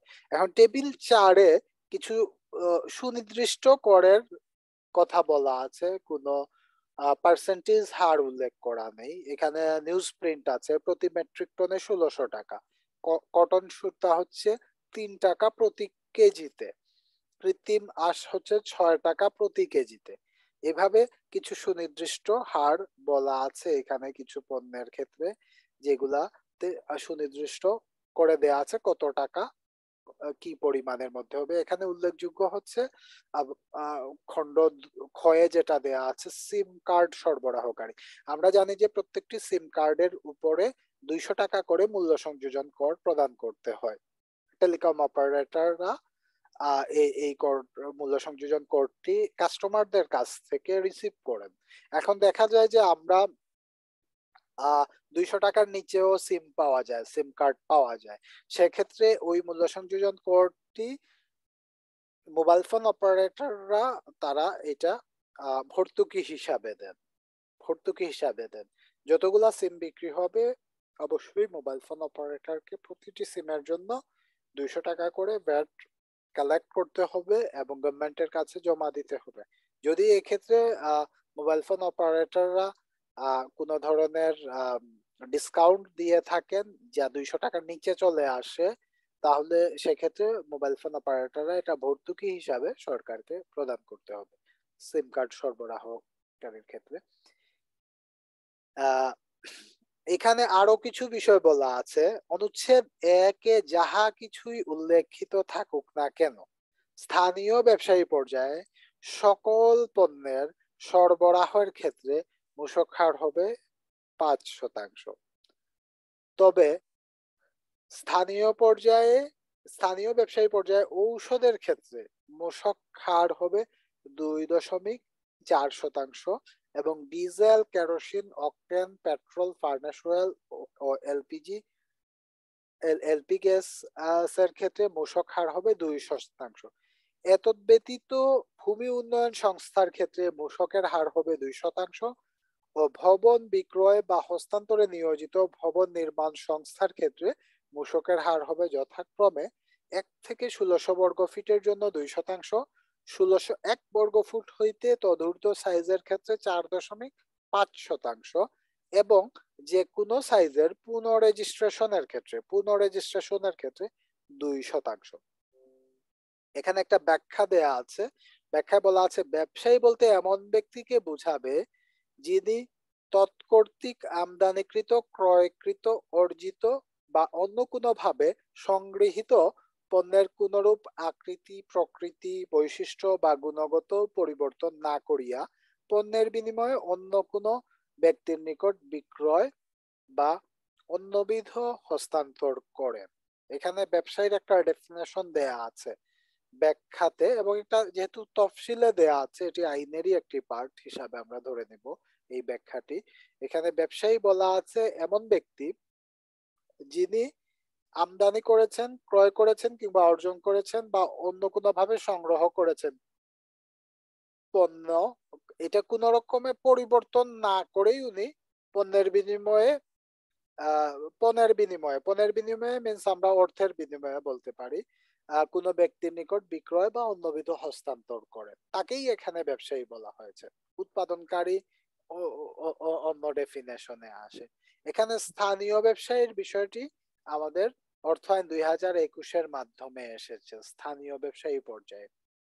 ঔষধের আচ্ছা। ক্ষেত্রে যে মূসক হ্যাঁ, যেমন ধরেন এই যে এদিকে বলল যে স্থানীয় ব্যবসায়ী পর্যায়ে ঔষধের ক্ষেত্রে মূসকের হার হইবে দুই দশমিক চার শতাংশ। এইটা দ্বারা কি বুঝাচ্ছে? মানে এই যে যারা ধরেন যে স্থানীয় পর্যায়ে যারা হ্যাঁ। ব্যবসা করছেন করতেছে তাদের ক্ষেত্রে ঔষধের ক্ষেত্রে মূসকের হার হবে দুই দশমিক চার শতাংশ। তবে এটা যদি সরবরাহকারী হয়ে থাকেন এবং এমআরপি যদি নির্দিষ্ট হওয়া করা থাকে তাহলে সেক্ষেত্রে তো উনাকে মূসক প্রদান করতে হবে না। না উনি ধরেন একটা ওষুধের দোকান অর্থাৎ সে দেবে টু পয়েন্ট ফোর পার্সেন্ট এইটাই তো? এখানে স্থানীয় পর্যায়ে ঔষধের ক্ষেত্রে। হ্যাঁ। স্থানীয় প্রথম কথা হচ্ছে স্থানীয় ব্যবসায়ী পর্যায়ে সকল পণ্যের ক্ষেত্রে না এখানে প্রথম বিষয় যেটা হ্যাঁ। স্থানীয় ব্যবসায়ী পর্যায়ে সকল পণ্যের সরবরাহের ক্ষেত্রে পণ্য সরবরাহের ক্ষেত্রে মূসক হার হবে পাঁচ শতাংশ। মানে লোকালি যদি কোনো ব্যবসায়ী যিনি ট্রেডিং করে থাকেন কোনো প্রোডাক্ট কিনে বিক্রি করলেন তার ক্ষেত্রে মূসকের হার হবে পাঁচ শতাংশ স্থানীয় পর্যায়ে। অর্থাৎ উনি ধরেন একটা স্থানীয় পাইকারি আছে সে কিছু পণ্য এখন বিক্রি করবে ঠিক আছে? সে এক লাখ টাকার পণ্য বিক্রয় করবে। তাহলে সে কি এক লাখের উপরে ফাইভ পার্সেন্ট হারে যোগ করে কি তাকে বিক্রি করতে হবে?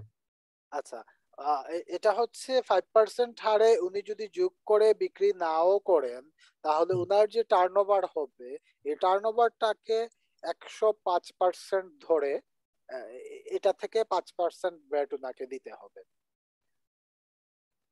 আচ্ছা। তার মানে উনার উনার বিক্রয় মূল্যের মধ্যে অবশ্যই পাঁচ পার্সেন্ট ভ্যাটটি ইনক্লুডেড আছে। যেটা আমাদের পুরাতন ভ্যাট আইন এবং নতুন ভ্যাট আইনের মধ্যে একটা মূল পার্থক্য হচ্ছে, আগে ভ্যাট আইনে পণ্যের মূল্যটি ভ্যাট এক্সক্লুডেড ছিল, আর নতুন ভ্যাট আইনে মূল্যটি ভ্যাট ইনক্লুডেড। আপনার যে পরিমাণ টার্নওভার হবে, ধরে নেওয়া হবে এর মধ্যে ভ্যাট ইনক্লুডেড আছে। আপনি আলাদাভাবে ভ্যাট চার্জ করেন বা নাই করেন, আপনার টার্নওভার এর মধ্যেই ভ্যাটটি ইনক্লুডেড আছে। এটা ধরে সে এক লক্ষ পাঁচ হাজার টাকা বিল করল ভ্যাট সহ। ভ্যাট সহ রাইট এক লক্ষ পাঁচ হাজার টাকার মধ্যে পাঁচ হাজার টাকা ওনাকে ভ্যাট হিসাবে দিতে হবে।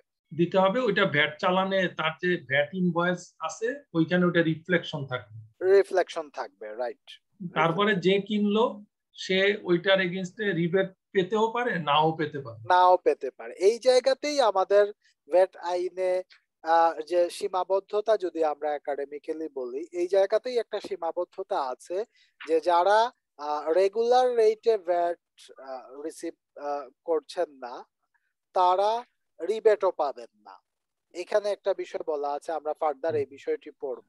আবার অনেক ক্ষেত্রে আমরা যে সকল জায়গায় ভ্যাট প্রদান করছি তা যদি আমাদের উপকরণ হিসাবে গণ্য না হয় তাহলে আমরা এই ভ্যাট থেকেও আমরা রিবেট নিতে পারছি না। তার মানে এটা ভ্যাট এক্সপেন্স হিসাবেই যাচ্ছে আমাদের। দ্যাট একটা কোম্পানি কিছু ভ্যাট ভ্যাট লাইবিলিটি অ্যাকাউন্টে গিয়ে অ্যাডজাস্ট করছে ডেবিট ক্রেডিটের মাধ্যমে। আর কিছু ভ্যাট এক্সপেন্স হিসাবেই ধরে নিতে হচ্ছে, যেহেতু এই ভ্যাটগুলা উপকরণের ক্ষেত্রে হয়নি। মনে করেন এই যে আমরা বাস ভাড়ার সাথে ভ্যাটের যে বিষয়টা ধরা হলো, এটা যদি আপনি উপকরণ হিসাবে গণ্য না হয়, তাহলে এই ভ্যাটটা কিন্তু আপনার এক্সপেন্স হিসাবেই আসবে। আর যদি উপকরণ হিসাবে এটা গণ্য হয়, তাহলে এই ভ্যাটটি আপনি অ্যাডজাস্ট করতে পারবেন। আপনি যে ভ্যাট রিসিভ করেছেন, আপনার কাস্টমারদের কাছ থেকে ওই ভ্যাটের সাথে। তো এটা আমাদের ভ্যাট আইনে এভাবেই দেয়া আছে। এখানে মূল্য হয়তো মূল্য সংযোজন যেহেতু হচ্ছে না, উপকরণের মাধ্যমেই তো মূল্য সংযোজন হচ্ছে, সেহেতু এটা অ্যাকসেপ্ট করা হচ্ছে না। আবার যারা বিশেষ কর হার উপভোগ করছেন সেটা পাঁচ পার্সেন্ট সাড়ে সাত পার্সেন্ট হতে পারে, আদর্শ কর হারের নিচে, তারা যে পরিমাণ ভ্যাট প্রদান করছেন তাদের সরবরাহকারী কিংবা আমদানি ক্ষেত্রে তারা যে পরিমাণ ভ্যাট প্রদান করছেন, তা কিন্তু তারা রিভেট নিতে পারছেন না। তো এই বিষয়টি গুরুত্বপূর্ণ ভ্যাট কনসালটেন্ট যারা আছেন, ভ্যাট অ্যাডভাইজার যারা আছেন, তাদের ক্ষেত্রে ব্যবসায়ীদের পরামর্শ প্রদান করা যে উনি কি ফিফটিন পার্সেন্ট রেটে ভ্যাট চার্জ করবেন, নাকি উনি সুযোগ থাকলে রিডিউস রেটে ভ্যাট নেবেন? এখন স্থানীয় পর্যায়ের কোনো ব্যবসায়ী যদি পাঁচ শতাংশ হারে উনি মূসকের হার নির্ধারণ করে কালেক্ট করে থাকেন, তাহলে উনি যে প্রোডাক্টগুলা ক্রয় করেছেন কিংবা আমদানি করেছেন, তার উপরে যে ভ্যাটটা উনি প্রদান করেছেন, এটার জন্য উনি কোনো ধরনের রিবেট পাবেন না। যেটা আমরা পরবর্তী আলোচনায় আসব। একটা কোশ্চেন ছিল যদি স্থানীয় পর্যায়ে কোনো ব্যবসায়ী যখন কিনছে তার প্রোডাক্টটা ট্রেডিং এর জন্য সে যদি কেনার সময় পনেরো পার্সেন্ট হারে যদি ভ্যাট প্রদান করে এবং বিক্রয় পর্যায়ে আবার পাঁচ পার্সেন্ট করে যদি ভ্যাট সে কালেক্ট করে সেই ক্ষেত্রে কি গভর্নমেন্টের পনেরো পার্সেন্টের উপরে ভ্যাট কালেকশন হচ্ছে না? ও যদি রিবেটটা না নিতে পারে জি এটা হচ্ছে। এবং এই ধরনের কিছু কিছু ক্ষেত্রে আমরা কিছু কিছু ব্যবসায়ী বলতে চাচ্ছেন যে তাদের পনেরো পার্সেন্টের উপরে বিশ পার্সেন্ট কিংবা ক্ষেত্র বিশেষে সাড়ে বাইশ পার্সেন্টও ভ্যাট দেয়া হয়ে যাচ্ছে। যে জায়গায় সংস্কার আইনে সংস্কার আনা খুবই প্রয়োজন। এটা আমরা একাডেমিক্যালি কিংবা ব্যবসায়ীদের পক্ষ থেকে অনেক সময় বলা হচ্ছে। এই জায়গায় যেহেতু আমাদের ভ্যাট আইনটি খুবই নতুন। এটা প্রতি বছরই সংশোধন হচ্ছে। এখানে এই যে স্থানীয় পর্যায়ের বিষয়টি, ঔষধ ব্যবসায়ীর ক্ষেত্রে আলাদা একটা বিষয় নিয়ে আসা হয়েছে। দুই হাজার এটা এসেছে দুই হাজার একুশ সালের অর্থ আইনে। তো এভাবে কিছু কিছু পরিবর্তন আসবে। আমরা যে যে জায়গায় সীমাবদ্ধতা পাবো কিংবা আইনের মধ্যে আইনের বিভিন্ন ধারার মধ্যে কন্ট্রাডিকশন পাবো যে এক জায়গায় এক কথা বলা হয়েছে। আমরা এই বিষয়গুলা উত্থাপন করার চেষ্টা করি। এবং আপনারা দেখবেন যে আপনাদের যে স্টাডি টেক্সটটি আছে ডক্টর মোহাম্মদ আব্দুর রুফ স্যারের যে বইটি, এই বইয়ে উনি বিভিন্ন জায়গায় সুনির্দিষ্ট কিছু পরামর্শ দিয়েছেন বইয়ে যে কি চেঞ্জ আনা যেতে পারে, এই জায়গায় কি পরিবর্তন আনা যেতে পারে।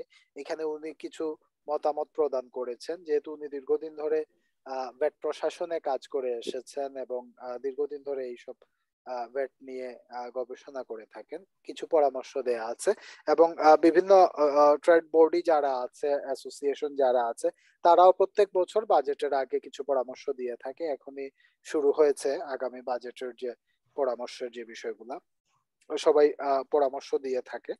এই পরামর্শগুলা অনুযায়ী প্রত্যেক বছর ফাইন্যান্স সেক্টরে কিছু কিছু রিফ্লেকশন আসে।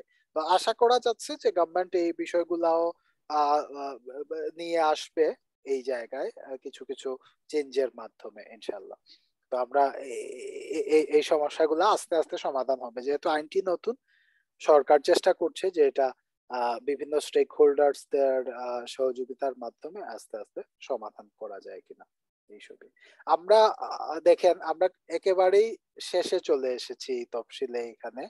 এখানে ক্লিয়ারলি আমরা তাহলে তফসিলে আমরা প্রথম খণ্ড পড়লাম আর তৃতীয় খণ্ডটি পড়লাম আমরা এখানে। দুইটি ভাগে যদি আমরা দেখি, দ্বিতীয় খণ্ড প্রথম তফসিলটি পড়লাম আর তৃতীয় তফসিলটি পড়লাম। দুইটি তফসিল পড়লাম এখানে। আমরা আবার আমাদের একটু কোয়েশনের ইয়েতে ফেরত যাচ্ছি।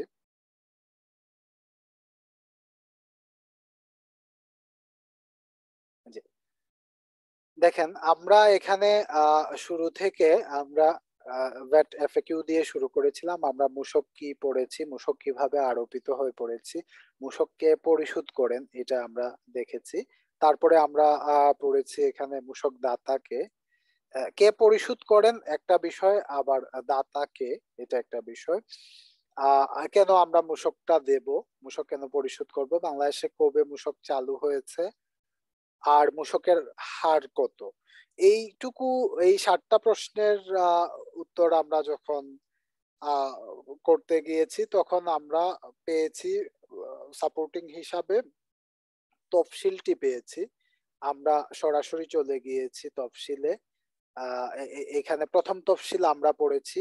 প্রথম তফসিল হচ্ছে মূল্য সংযোজন কর হইতে অব্যাহতি প্রাপ্ত পণ্য সমূহ আর আমরা পড়েছি তৃতীয় তফসিল। তৃতীয় তফসিলে আমরা গিয়ে দেখেছি সুনির্দিষ্ট হার যেগুলা দেয়া আছে মূল্য সংযোজন কর, আরোপযোগ্য পণ্য এবং সেবা সমূহ কিছু সুনির্দিষ্ট হার দেয়া আছে। তাহলে আমরা যদি এতটুকু আলোচনার মধ্যে আমরা একটা কনক্লুশনে আসতে পারি যে ব্যাটের আদর্শ হার হচ্ছে পনেরো পার্সেন্ট আমরা প্রথম তফসিলে যে পণ্য এবং সেবাগুলা দেয়া আছে। এই পণ্য এবং সেবার ক্ষেত্রে ভ্যাটের রেট হচ্ছে জিরো পার্সেন্ট এক্সপোর্টের ক্ষেত্রে ভ্যাটের রেট হচ্ছে জিরো পার্সেন্ট আর তৃতীয় তফসিলে কিছু পণ্য এবং সেবার ক্ষেত্রে সুনির্দিষ্ট কর ও রাষ্ট্রিত হারে মূসক আরোপ করা হয়েছে। তাহলে এই প্রথম এবং তৃতীয় তফসিল যদি আমরা আমাদের কাছে থাকে তাহলে আমরা বাদ বাকি যেগুলো এক্সপোর্ট হচ্ছে এটার উপরে জিরো পার্সেন্ট আর এছাড়া সবগুলার ক্ষেত্রে এখনও পর্যন্ত আমরা জানলাম যে মূসকের হার পনেরো পার্সেন্ট মূলত মূসকের হার নিয়ে একটা কোয়েশ্চন থাকে।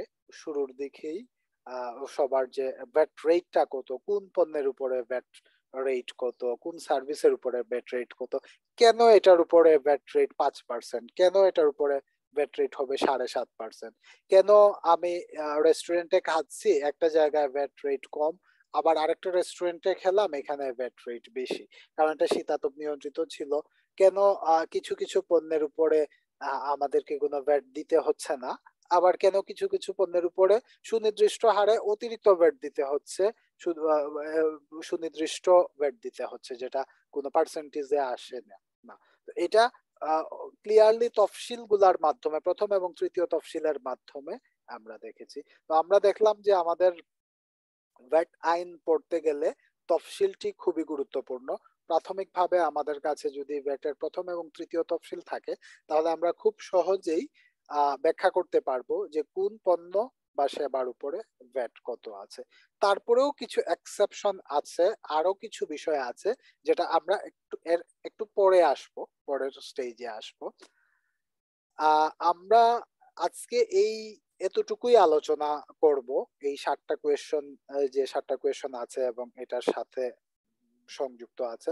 আমরা এখন প্রত্যেকে আমরা যে আলোচনাটা করলাম, প্রত্যেকে আমরা দুই তিন মিনিট কিংবা পাঁচ মিনিটের মধ্যে আমরা একটা সামারি টানবো একজন একজন করে আমরা কি আলোচনা করলাম এবং আমরা কি বুঝলাম এই বিষয়টা, তাহলে একজন আরেকজনের কাছে শেয়ার করব। আমার মনে হয় মল্লিক ভাই শুরু করতে পারেন প্রথমে।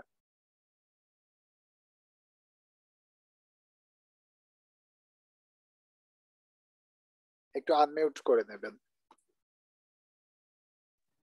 থ্যাংক ইউ আমরা এই আলোচনা থেকে জানতে পারলাম যে মোশক কি, আর মোশকের হার কত, আদর্শ হার কত? এই আদর্শ হার দেখতে গিয়ে আমরা তিন, তিনটা তফসিলের রেফারেন্স পেয়েছি। প্রথম তফসিলে আমাদের মোশকের আদর্শ হার প্রথম তফসিলে বর্ণিত যে সেবা এবং পণ্যগুলোকে এক্সেমটেড করা হয়েছে, সেইগুলো ব্যতীত পণ্য এবং সেবার উপরে মোশকের হার হবে পনেরো পার্সেন্ট এই ছাড়া আমরা তৃতীয় তফসিলে পেয়েছি কিছু সুনির্দিষ্ট হারে এবং কিছু হ্রাসকৃত হারে পণ্যের ওপর ভ্যাটের রেটটা। আর মূসক কখন চালু হয়েছে এবং মূসক নিবন্ধ তালিকা সমূহ এটা আমরা এই এইটুকু আলোচনা থেকে আমরা সামারি করতে পারি আর কি। আচ্ছা ধন্যবাদ। শামসুল আরেফিন ভাই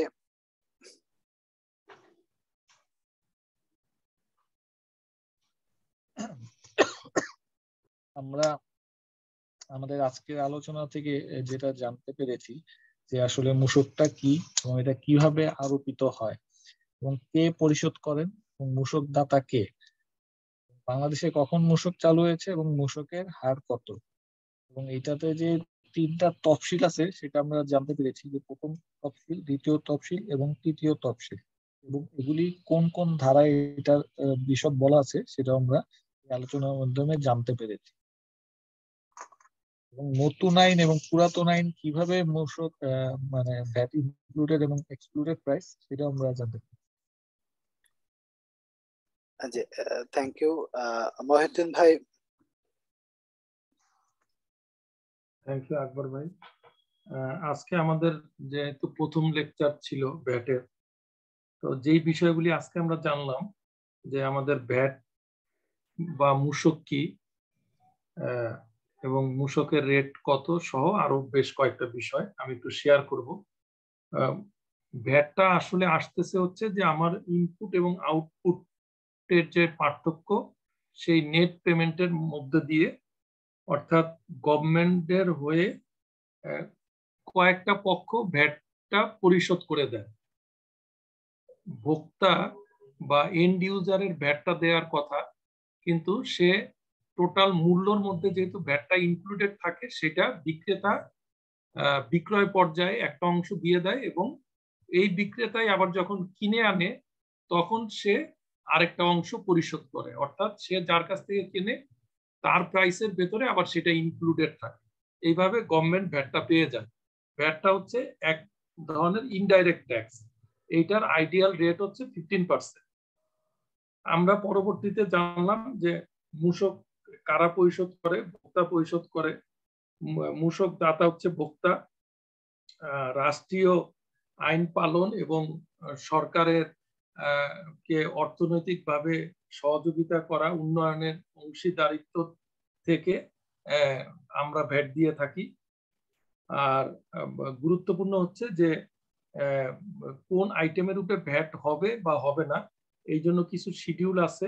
ফার্স্ট শিডিউল সেকেন্ড শিডিউল এবং থার্ড শিডিউল ফার্স্ট শিডিউলটা হচ্ছে যে কোন আইটেম গুলোতে এক্সেমশন আছে, অর্থাৎ ফার্স্ট শিডিউলের আইটেম বাদে বাকি সব আইটেম হচ্ছে ভেটেবল এই ফার্স্ট শিডিউলটাতে দুইটা ভাগ আছে, একটা হচ্ছে প্রোডাক্টের উপরে, আরেকটা সার্ভিস সেখানে আবার সাত ধরনের সার্ভিসের কথা বলা আছে। এইটা হচ্ছে ধারা ছাব্বিশের সাথে সম্পর্কিত। সেকেন্ড শিডিউলটা আমরা পরবর্তীতে দেখব, এটা ইম্পোর্ট স্টেজ ব্যাট আর থার্ড শিডিউল যেটা আকবর ভাই দেখালেন, সেটা হচ্ছে সেকশন ফিফটিন এর সাথে সম্পর্কিত। এদিকে দুই ধরনের রেট থাকে, একটা হচ্ছে ফিক্সড রেট একটা রিডিউসড রেট এদিকে চারটা টেবিল আছে, প্রত্যেকটা টেবিলে আবার পার্ট ক এবং পার্ট খ আলাদা করা আছে। কতে হচ্ছে প্রোডাক্ট আর খতে হচ্ছে সার্ভিস এবং এই চারটা টেবিলের মধ্যে প্রথম টেবিলটাতে হচ্ছে ফাইভ পার্সেন্ট প্রোডাক্টের রেট সার্ভিসের রেটটা হচ্ছে বিভিন্ন ধরনের। টেবিল টুতে হচ্ছে সাড়ে সাত পার্সেন্ট প্রোডাক্টের রেট সাড়ে সাত পার্সেন্ট সার্ভিসের রেট আর টেবিল থ্রিতে হচ্ছে প্রোডাক্টের রেট টেন পার্সেন্ট আর সার্ভিসের রেটও হচ্ছে টেন পার্সেন্ট আর টেবিল ফোরে আছে যেই আইটেমগুলো সার্ভিসের আইটেম যতটুকু মনে আছে আমার, সেগুলি হচ্ছে ফিক্সড উদাহরণস্বরূপ, প্রতি সিমে দুইশো টাকা এই ধরনের। তো এই ছিল মোটামুটি আজকের আলোচনা। তো আশা করি যে আমরা আরও বিষয়ে পরবর্তীতে জানতে পারব। ধন্যবাদ মহিউদ্দিন ভাই। শোয়েব ভাই কি শুনতে পাচ্ছেন? জি শুনতে পাচ্ছি। মহিউদ্দিন ভাই সবই কভার করে ফেলছে আমাকে আর বলা লাগবে? আসলে কাভার কভার করার মূল উদ্দেশ্য হচ্ছে আপনি কি ক্লাসে ছিলেন কি না ছিলেন না, এটা একটু চেক করা। আচ্ছা আচ্ছা। এখানে আসলে যেটা আলোচনা হয়েছে ভ্যাট কি মানে মূসক ভ্যাটই মূসক একই জিনিস। আর ভ্যাটের কাকে বলে, কবে থেকে প্রবর্তন হলো মানে কীভাবে এটা ক্যালকুলেশন হয় ভ্যালু এডিশনের উপর যে হচ্ছে মানে যতটুকু ভ্যালু এডিশন তার উপরে ট্যাক্স বিভিন্ন স্টেপে কালেকশন হচ্ছে। এবং এই এইগুলো আলোচনা করতে যে যেটা আসছে যে তিনটা তফসিলের কথা আছে যেটা মুদিন ভাই বললেন খুব সুন্দরভাবে বলছেন। আমার মনে হয় ওনার সামারি পেলে আমরা আরও পাস করতে সুবিধা হবে। ওনার এই ওখানে শিডিউল যেটা বলেছেন খুব সুন্দরভাবে বলেছেন। ফার্স্ট শিডিউলে উনি যেমন বলে দিলেন যে আপনার প্রোডাক্ট এন্ড সার্ভিস যেটা এক্সামটেড যেটা ভ্যাট লাগে না ইম্পোর্টের উপরে তো লাগে না। তারপর হলো শিডিউল টু আজকে আলোচনা হয়নি এটা আমরা সামনে হয়তো আলোচনা করব। তফসিল এক্সপোর্টের উপরে লাগে না। এক্সপোর্টের উপর লাগে না সরি মানে ইম্পোর্ট না এক্সপোর্টের উপর লাগে না। আর তফসিল তিনের মধ্যে যেটা আলোচনা হচ্ছে যে চারটা টেবিল আছে, এর মধ্যে ক, খ আছে, বিভিন্ন যে রেট আছে ফিক্সড রেট রিডিউস রেট এবং কোন জায়গায় একবার নির্দিষ্ট হার, এই জিনিসগুলো আলোচনা হয়েছে। জি থ্যাংক ইউ তার মানে বোঝা গেল যে আমরা মোটামুটি আলোচনা থেকে আমাদের সোর্সগুলো আমরা পেয়েছি যে কোথায় আমরা গেলে ভ্যাটের রেটগুলা জানতে পারব। তো প্রাইমারিলি আজকের আমাদের ক্লাসের আলোচনাটা এভাবেই আমরা এতটুকুর মধ্যেই সীমাবদ্ধ রাখছি। এখানে একটা গুরুত্বপূর্ণ বিষয় হচ্ছে, আমরা যখন আমাদের এই ভ্যাট ম্যানেজমেন্ট ক্লাসটা কন্টিনিউ করে যাব এইভাবে, আমরা অ্যাপ্লিকেবল দিকগুলোই বেশি দেখব। যেটা, যে যে জায়গায় আমাদের প্রথমে ক্লাসের শুরুর দিকে যে যে বিষয়গুলো আসবে, এই বিষয়গুলোতেই আমরা বেশি ফোকাস করব। তারপরে আমরা শেষের দিকে এসে দেখব যে, আইনের কোন কোন ধারা এবং কোন কোন বিধি আমরা বাদ পড়েছে যেগুলো আমাদের আলোচনায় আসেনি। তখন আমরা সেই ধারা এবং বিধিগুলা আমরা একটু পড়ে নেব। কারণ তখন স্বভাবতই বোঝা যায় যে, ওই ধারা এবং বিধিগুলা কম প্রয়োজনীয়। বেশি প্রয়োজনীয় হচ্ছে আমরা যে অ্যাপ্লিকেবল যে দিকগুলো আছে ভ্যাটের এই সংশ্লিষ্ট যে ধারা এবং বিধিগুলো আছে, সেগুলাই বেশি প্রযোজ্য। তো এটা প্রাইমারি একটা ডিসকাশন ভ্যাট সম্পর্কে। আমরা একেবারেই বেসিক বিষয়টা জানলাম ভ্যাট কীভাবে ক্যালকুলেট করা হয় প্রাইমারিলি এবং আমরা ভ্যাটের যে রেটগুলো আছে এবং এটা প্রত্যেক বছর চেঞ্জ হয়, একটা গুরুত্বপূর্ণ বিষয় হচ্ছে শিডিউলটি প্রত্যেক বছর কোনো না কোনো একটা সংযোজন, বিয়োজন থাকে প্রত্যেক বছরই ফাইন্যান্স সেক্টরের মাধ্যমে এবং এটা আপডেটেড থাকে। আমরা যেটা দেখেছি যে আমাদের ল মিনিস্ট্রির যে ওয়েবসাইট আছে, ওই ওয়েবসাইটে এই বিষয়টি খুব সুন্দরভাবে আপডেটেড থাকে। আমরা চাইলেই এই ল মিনিস্ট্রির ওয়েবসাইট থেকে আমরা শিডিউলটি ডাউনলোড করে নিতে পারি। এর মধ্যে আমি আপনাদেরকে শিডিউলের কপিটি হোয়াটসঅ্যাপের গ্রুপে শেয়ার করেছি। এখানে একটা ইম্পর্টেন্ট জিনিস হচ্ছে, এখানে কিন্তু আইনটি, পুরো আইনটি আপডেটেড আছে। এবং একেবারে আপডেটেড আইনটি আমরা ওয়েবসাইটে পাচ্ছি। গভর্নমেন্ট আমাদেরকে এই সুযোগটা দিয়েছে যে একেবারেই আপডেটেড আইনটি আমরা ওয়েবসাইটে পাচ্ছি। সেই সাথে আমরা আইনের ব্যাখ্যা সহ আমরা যে বই আমাদের স্টাডি টেক্সট হিসাবে সিলেক্ট করেছি সেই বইয়ে আমরা আরও কিছু অতিরিক্ত ব্যাখ্যা পাবো কিংবা রিলেটেড কিছু কিছু জিনিস পাবো। তো এটা খুবই সহজ। আমরা যদি অনলাইনে আমরা ভ্যাট আইনটি দেখি, আমরা যে ধারাগুলা, আইনের যে ধারাগুলা তফসিলে আমরা দেখেছিলাম আমরা এই ধারাগুলা যদি আবার ইয়ের মধ্যে, আইনের মধ্যে যাই, যেমন ধারা ২৬ ছিল আমাদের এখানে প্রথম তফসিলে শিডিউল ওয়ানে তো ধারা ছাব্বিশে যে বিষয়টি আছে, আমরা এভাবে ধারাগুলা সম্পর্কে পরবর্তীতে আলোচনা করব এবং এভাবে আমরা কন্টিনিউ করব ক্লাস ইনশাল্লাহ এখানে আমরা অব্যাহতি প্রাপ্ত সরবরাহ বা আমদানি। এখানে বলাই আছে, প্রথম তফসিলে উল্লেখিত কোন সরবরাহ বা আমদানি এখানে দেয়া আছে। তো এই ধারা ছাব্বিশটা আমরা জানলাম যে ধারা ছাব্বিশের বলে প্রথম তফসিল হয়েছে এবং প্রথম তফসিলটি চেঞ্জ হয়, এইভাবে আমরা আসবে।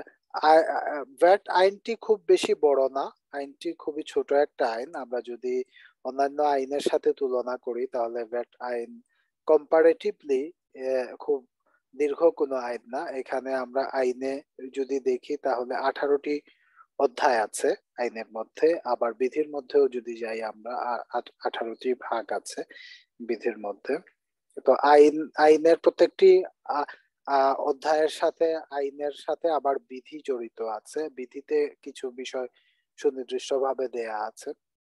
আমরা শুধু একটু টাইটেলটা দেখব অধ্যায়গুলোর। প্রথম অধ্যায় হচ্ছে প্রারম্ভিকা যেটা ইন্ট্রোডাকশন দ্বিতীয় অধ্যায় হচ্ছে মূসক নিবন্ধন ও টার্নওভার কোড তালিকা ভুক্তি। যে বিষয়ে আমরা আগামী ক্লাসে আসব ইনশাল্লাহ যে কারা কারা নিবন্ধন যোগ্য কারা নিবন্ধন নেবেন তালিকাভুক্তি করবে।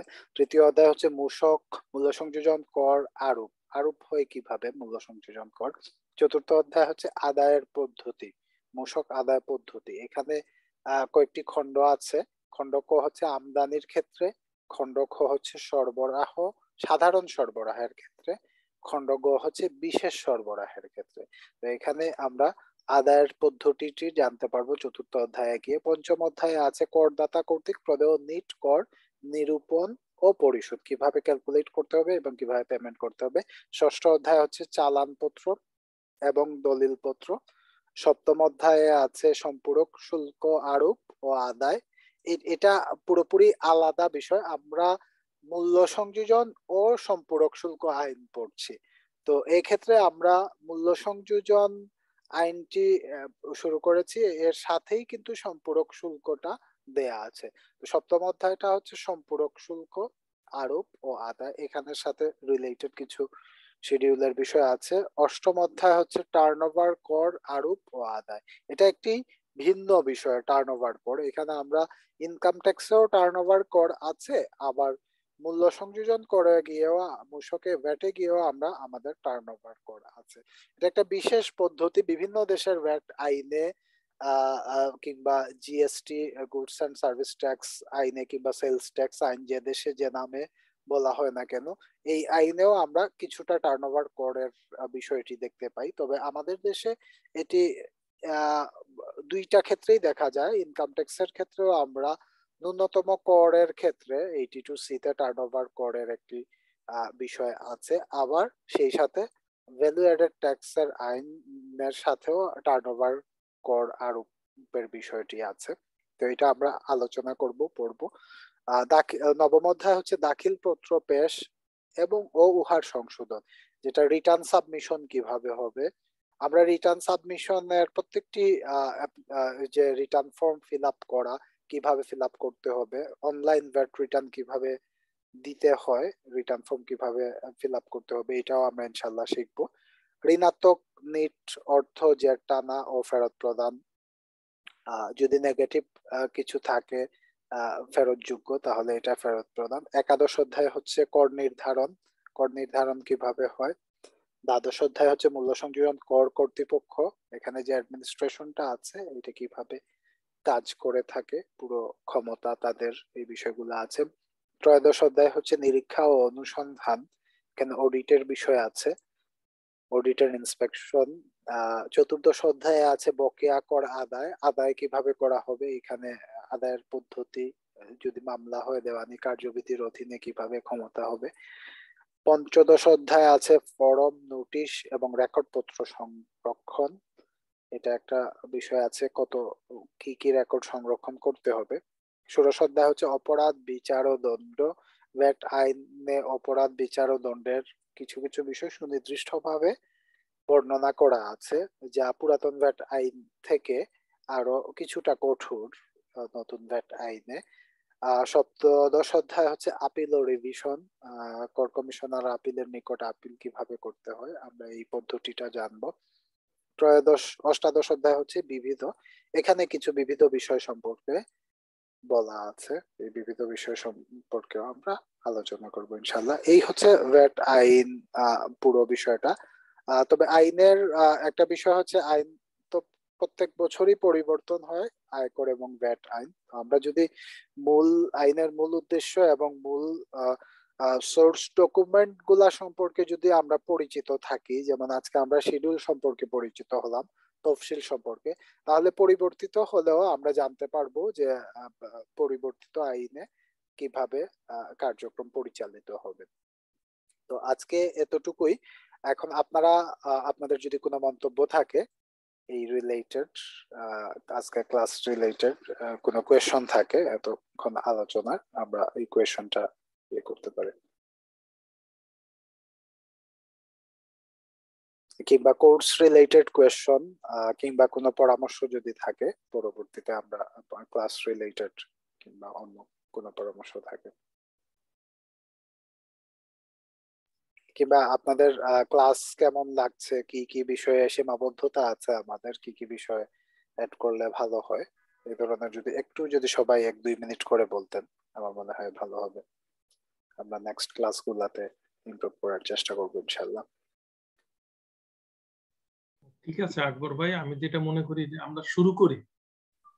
আজকে তো ফার্স্ট ক্লাস গতদিনও করলাম। আমার মনে হচ্ছে যে আপনার পদ্ধতিটা প্র্যাকটিক্যাল ওরিয়েন্টেড হচ্ছে। অর্থাৎ মানে ওই বইয়ের চ্যাপ্টারের মতো তো না, যে কীভাবে একজন ভ্যাটে প্র্যাকটিক্যালি কাজ করবে বা ট্যাক্সে প্র্যাকটিস করবে, যেটা গতকালকেও দেখলাম। আজকেও যেটা আপনি করালেন আমার মনে হয় যে এই পদ্ধতিটাই ঠিক আছে, যে মানে প্র্যাকটিক্যালি শেখাটা তাহলে আমার মনে হয় যে আমাদের মনেও থাকবে। বইয়ের চ্যাপ্টারের মতো না করে যেটা আপনার প্র্যাকটিক্যাল লাইফে যেভাবে কাজে লাগে ওইভাবে, ওই স্টাইলে যদি আপনি ডেলিভারিটা দেন, আমাদের জন্য সুবিধা। এবং আমি মনে করি যে এইভাবেই হচ্ছে আর থ্যাংক ইউ মার্টিন ভাই। মল্লিক ভাই আপনি যদি একটু আমিও মহিদিন ভাইয়ের সঙ্গে একমত যে ঠিক আছে আমরা যেইভাবে আপনি শুরু করেছেন সেটা অবশ্যই আমাদের কাজে লাগবে। কারণ আমরা অনেকেই কালকের ক্লাসে আমরা যেটা দেখলাম যে অনেকে আমরা ট্যাক্স রিটার্ন দেই কিন্তু অনেক কিছু আমাদের কাছে অনেক সময় অপরিষ্কার থাকে যেগুলো পরিষ্কার হচ্ছে। আশা করি ভ্যাটের ক্ষেত্রেও সেটা হবে। আমরা অনেকেই ভ্যাটের হয়তো আংশিক অ্যাপ্লিকেশন করি, পুরো ভ্যাটের হয়তো অ্যাপ্লিকেশন পুরোপুরি কর্মক্ষেত্রে আমরা করতে পারি না। তো যে জায়গাগুলো আমরা অ্যাপ্লিকেশন করি, সেগুলো কিছুটা পরিষ্কার হবে যদি কোনো পরিষ্কার কোনো বিষয় থেকে থাকে। আর যেগুলো অ্যাপ্লিকেশন করার সুযোগ নেই, সেগুলোতেও মদিন ভাই বললেন যে প্র্যাকটিক্যাল এক্সাম্পল দিয়ে যদি আমরা এগুলো শিখতে পারি, তাহলে আমার মনে হয় ওই জায়গাগুলোতে আমরা উপকৃত হব। ইনশাল্লাহ। ইনশাল্লাহ থ্যাংক ইউ ভাই শামসুল আরেফিন ভাই। আমি যেটা বলব যে আমার জন্য অনেকদিন এই বিষয়ের প্রতি আগ্রহ ছিল ট্যাক্স এবং ভ্যাট তো সেই প্রেক্ষাপটে আমি এখন জিনিসগুলি এই দুইটা ক্লাসেই সুন্দরভাবে বুঝতে পেরেছি। এটার প্রতি আমার যে আগ্রহ ছিল সেই আগ্রহটা আরও দ্বিগুণ হচ্ছে। আশা রাখি যে সামনে আরও অনেক কিছু শিখতে পারব। এবং এইটাকে প্রয়োগও করতে পারব ইনশাআল্লাহ। শোয়েব ভাই?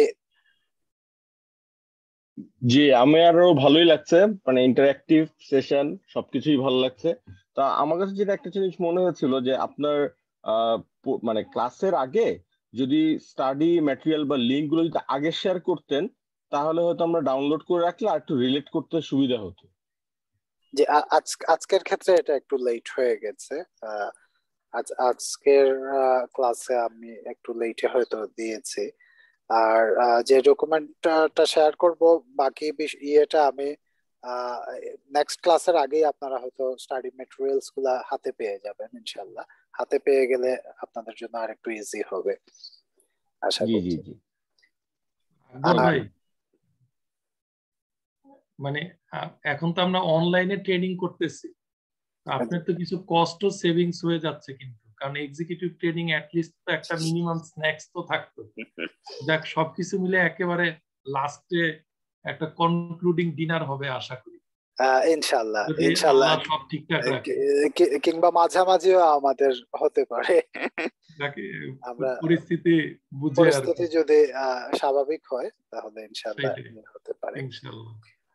তো সবাইকে ধন্যবাদ। আমরা যদিও এখন আমরা একেবারে কিছু প্র্যাকটিক্যাল বিষয় নিয়ে আলোচনার মাধ্যমে শুরু করেছি ভ্যাট ম্যানেজমেন্ট ক্লাস কিন্তু আমাদের কোর্সের কারিকুলামে পুরো আয়কর মূল্য সংযোজন কর আইন বিধিমালা এবং রিলেটেড সবকিছুই আছে। তো আমরা চেষ্টা করব পুরো আইনটি এবং বিধিমালা কভার করতে আমাদের কোর্সের মাধ্যমে। আমরা প্রথমে হয়তো একেবারেই প্রয়োজনীয় বিষয়গুলা নিয়ে আসছি যাতে করে আমরা গুরুত্বপূর্ণ বিষয়গুলাতে বেশি মনোযোগ দিতে পারি, যেগুলাতে আমাদের কাজে লাগবে পরবর্তীতে বেশি। আর পরবর্তীতে আমরা যে যে জায়গায় গ্যাপ থেকে যাবে, যে যে বিষয়গুলা আমরা পরবর্তীতে আলোচনা করব, আমরা চেষ্টা করব পুরো আইনটা এবং পুরো বিধিমালাটাই কমপ্লিট করতে। কিন্তু যদি, শুরুটা যদি আমরা একেবারে আইনের প্রথম ইন্ট্রোডাকশন থেকে শুরু করি, তাহলে প্রথম দিকের ক্লাসগুলো আসলে মনোযোগ দেওয়া কঠিন হয়ে যাবে।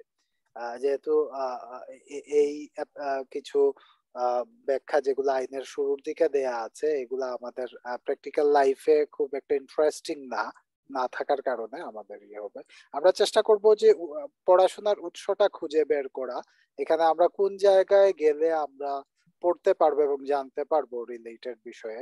এখানে একটা বিষয় খেয়াল রাখা উচিত যে ভ্যাটের যে তফসিলগুলো আপনারা দেখলেন শিডিউল ফার্স্ট শিডিউল এবং থার্ড শিডিউল আমরা আজকের পড়ায় আনলাম, এই তফসিলগুলা কিন্তু মুখস্থ করে রাখার কোনো সুযোগ নেই।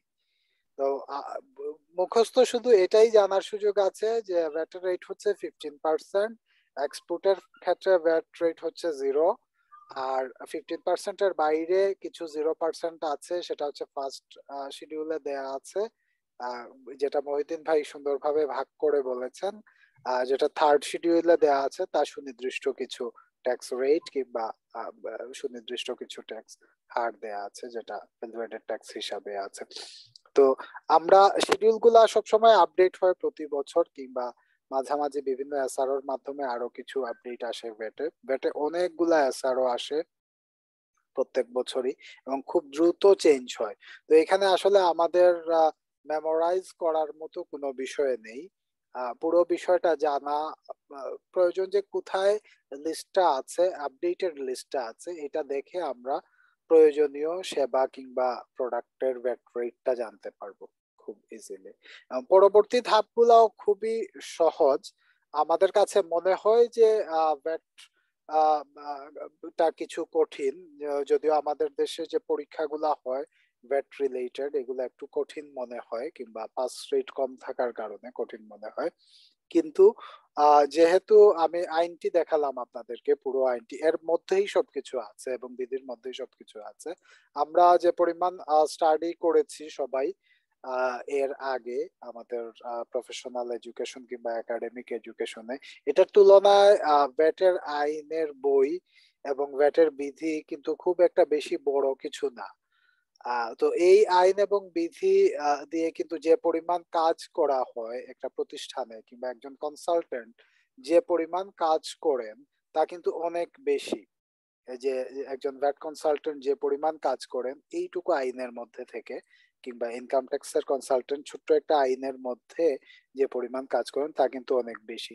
তো আমার যেটা ব্যক্তিগত ধারণা, সেটা হচ্ছে আমাদের দেশে আমরা ইনকাম ট্যাক্স এবং ভ্যাট আইনে আমরা পড়াশোনা কম করি, তাই দেখা যায় যে আইনটি মনে হচ্ছে কঠিন হয়ে যায়। একাডেমিক স্টাডিতে আমাদের এই বিষয়গুলো অন্তর্ভুক্ত না থাকায় কিংবা কিছু কিছু ক্ষেত্রে আমাদের এইগুলা প্র্যাকটিক্যাল অ্যাপ্লিকেশনের দিকগুলা না আসার কারণে একটা গ্যাপ থেকে যায়। তো আশা করি আমাদের এই কোর্স শেষ করার মাধ্যমে আমরা সবাই এই ভ্যাট আইন সম্পর্কে এবং ভ্যাট বিধি সম্পর্কে ভালো একটি ধারণা রাখব এবং কোর্স শেষ করার সাথে সাথে আমরা সবাই ভ্যাট রেজিস্ট্রেশন থেকে শুরু করে ভ্যাট রিটার্ন সাবমিশন ভ্যাটের প্রত্যেকটি ফর্ম ফিল আপ করা এবং আইনের বিভিন্ন ধাপে যে বিষয়গুলা বলা আছে, ওই বিষয়গুলা সম্পর্কে একটি সুস্পষ্ট সঠিক ধারণা লাভ করব ইনশাআল্লাহ।